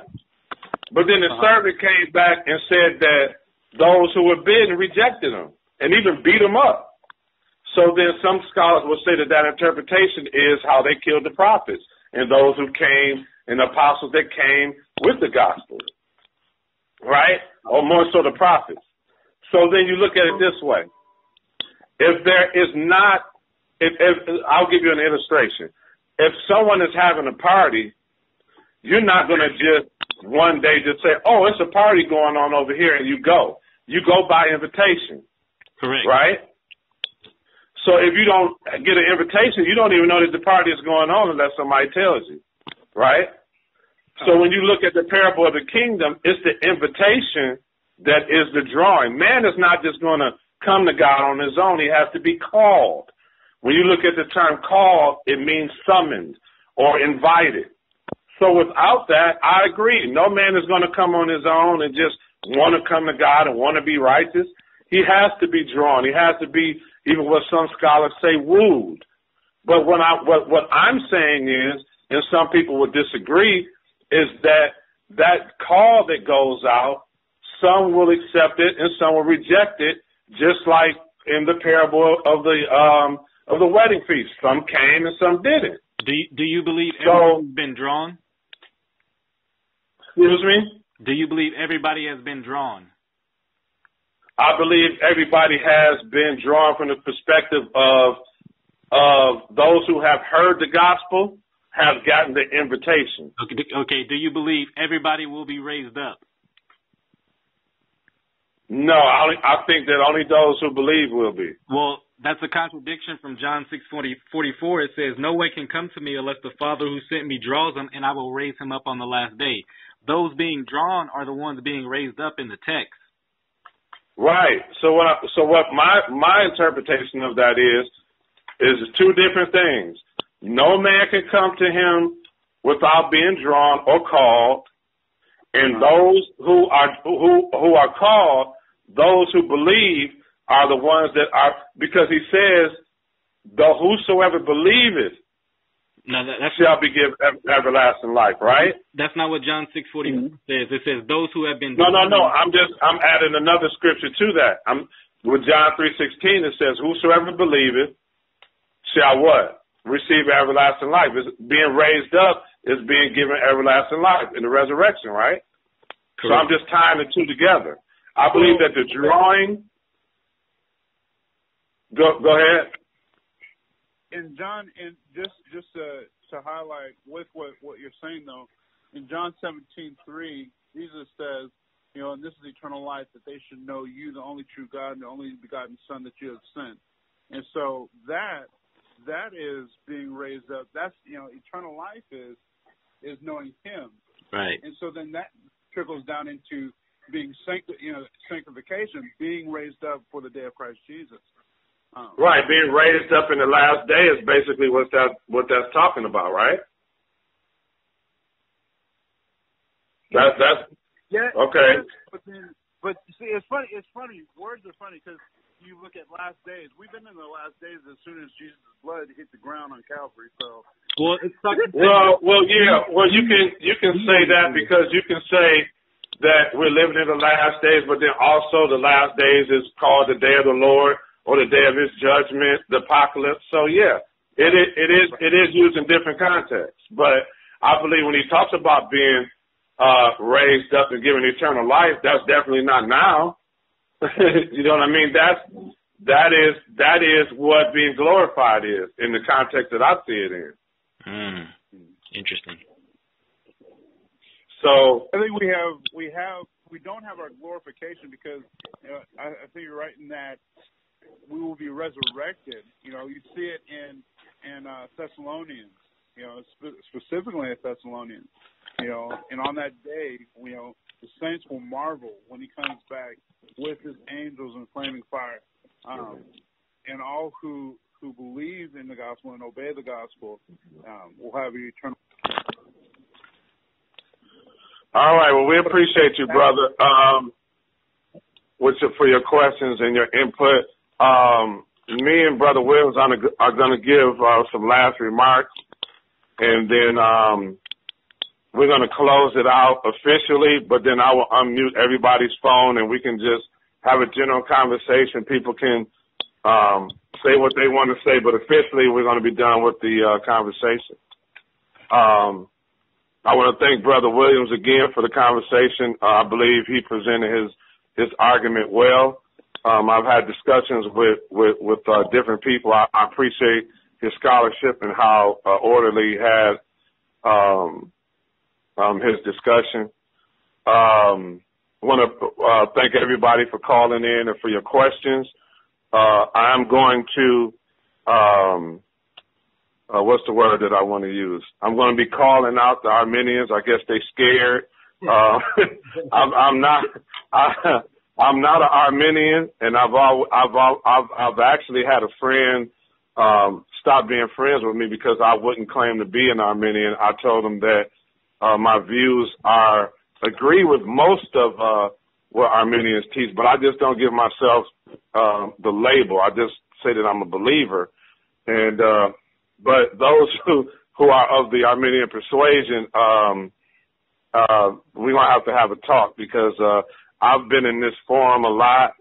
Um, I enjoy it. I'm built for it. So for those of you who probably figured, man, he he got all the questions and everybody jumped on him, I'm I'm fine with that. Uh, it just makes me a stronger debater, and, and so I'm good. I'm good with that. So you did. You definitely had your support tonight, brother Williams.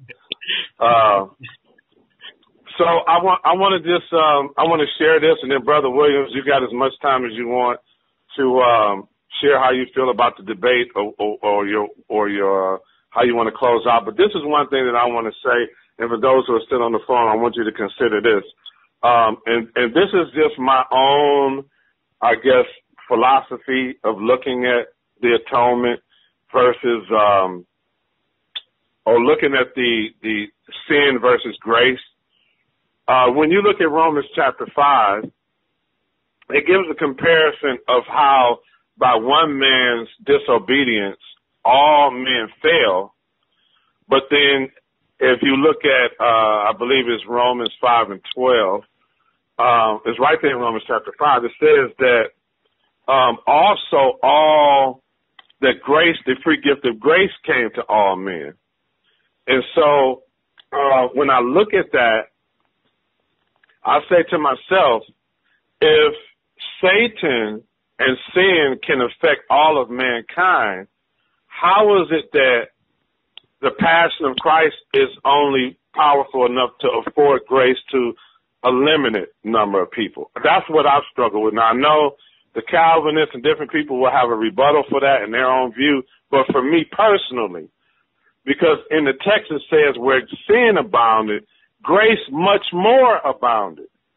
So when I look at that, I say, well, if all of Adam's posterity was affected by sin, then how can only grace be for only a certain amount of people? Is grace not as powerful? Is his, is his passion not as powerful as sin was? And so when I look at the text when it says that grace much more abounded, then there has to be something much more powerful than sin. So that that is what I struggle with. That is where my position has been, and uh, I'll give it over to uh, Brother Williams. Well, thank you. Um, I enjoyed the the debate thoroughly tonight. I think um, you know we we brought out the positions. Only thing I wish that could have been better if we could have stayed more on the topic of atonement rather than election or free will, but um, that's to be expected. But um, I would like to actually address that that Romans five text before I before we end this. But the reason why the the the text says um, you know about all men in Adam, um, every man is in Adam when they're born, but uh, you talked about the free righteous free gift of righteousness reign in life through the one man Jesus Christ. Not everyone is in Christ, so it's referring to all in Adam and all in Christ. The the reason why grace abounds is much more than sin because grace does not make us neutral, but it actually uh, covers us all. You know, covers every sin. That's why you know a believer will be able to stand upon the righteousness of Christ rather than um, in Adam's death and in Adam's guilt uh, which we are held accountable for. Um, so, yeah, I think you know once we do you know biblical exegesis, we have a uh, in hermeneutics we have answers for these questions on the all in the world. I think I believe that was shown tonight um, by the text we went through. Um, like I said, I'm I'm I'm I'm encouraged on how the debate went. Went I was uh, thankful that both sides we were both gracious to one another and there was no hostility in that manner. Um, that's always great to see on debates like this. So I'm um, extremely encouraged in that manner. So thank you for the opportunity. Yeah, no problem. Um, I the reason why there is is no hostility on my part is because when when I first started out, um, studying and debating, there was hostility because I wasn't mature and I didn't understand that, as I do now, that the Calvinist has just as much of an argument as the Arminian does. Um, I didn't say that during the um, debate because I would have been a fool to say that because that that that that that would that would have destroyed my argument. But now that the the debate is over, um, I can honestly say that I would be lying if I didn't say that Calvinists didn't have certain texts that seem to say that there is a certain time when God does elect uh, to do certain things, even with God's sovereignty.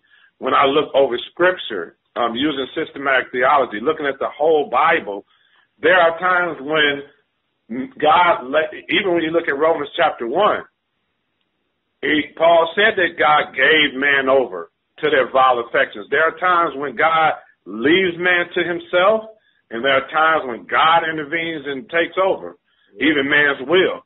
As as you stated, with, uh, with Pharaoh and with and with different uh, instances in the Bible where he does take control of uh, of, of situations and man's actions. But then there's sometimes when man is given to himself. So I can't lie and say that there aren't good arguments on both sides. So um, that's that's where it keeps me from being hostile. So uh, so yeah, I appreciate that, brother. Thank you, thank you very much. All right, so um, we can definitely uh, wrap this up. I'm going to open up every phone line so we can just sort of. Um, there's only a few people in there. If anybody just wants to uh, just throw some throw some uh, shouts out and um, say something. If not, uh, we can close out in prayer and uh, go home and do we continue with our lives. No, I just I really appreciate the uh, the time you guys put into it, and it was just it was definitely refreshing. So thank you. Thank you. I had a question real quick, last one. Uh, just a personal, like, you know, preference, I guess, question. Maybe that's not even the best way to say it, but uh, the for the host, if if the God of the Bible is does work the way that Calvinists believe, I am a Calvinist, would you be opposed to that, or is it that you don't see sufficient evidence of that? Um, I I I would definitely be opposed to that.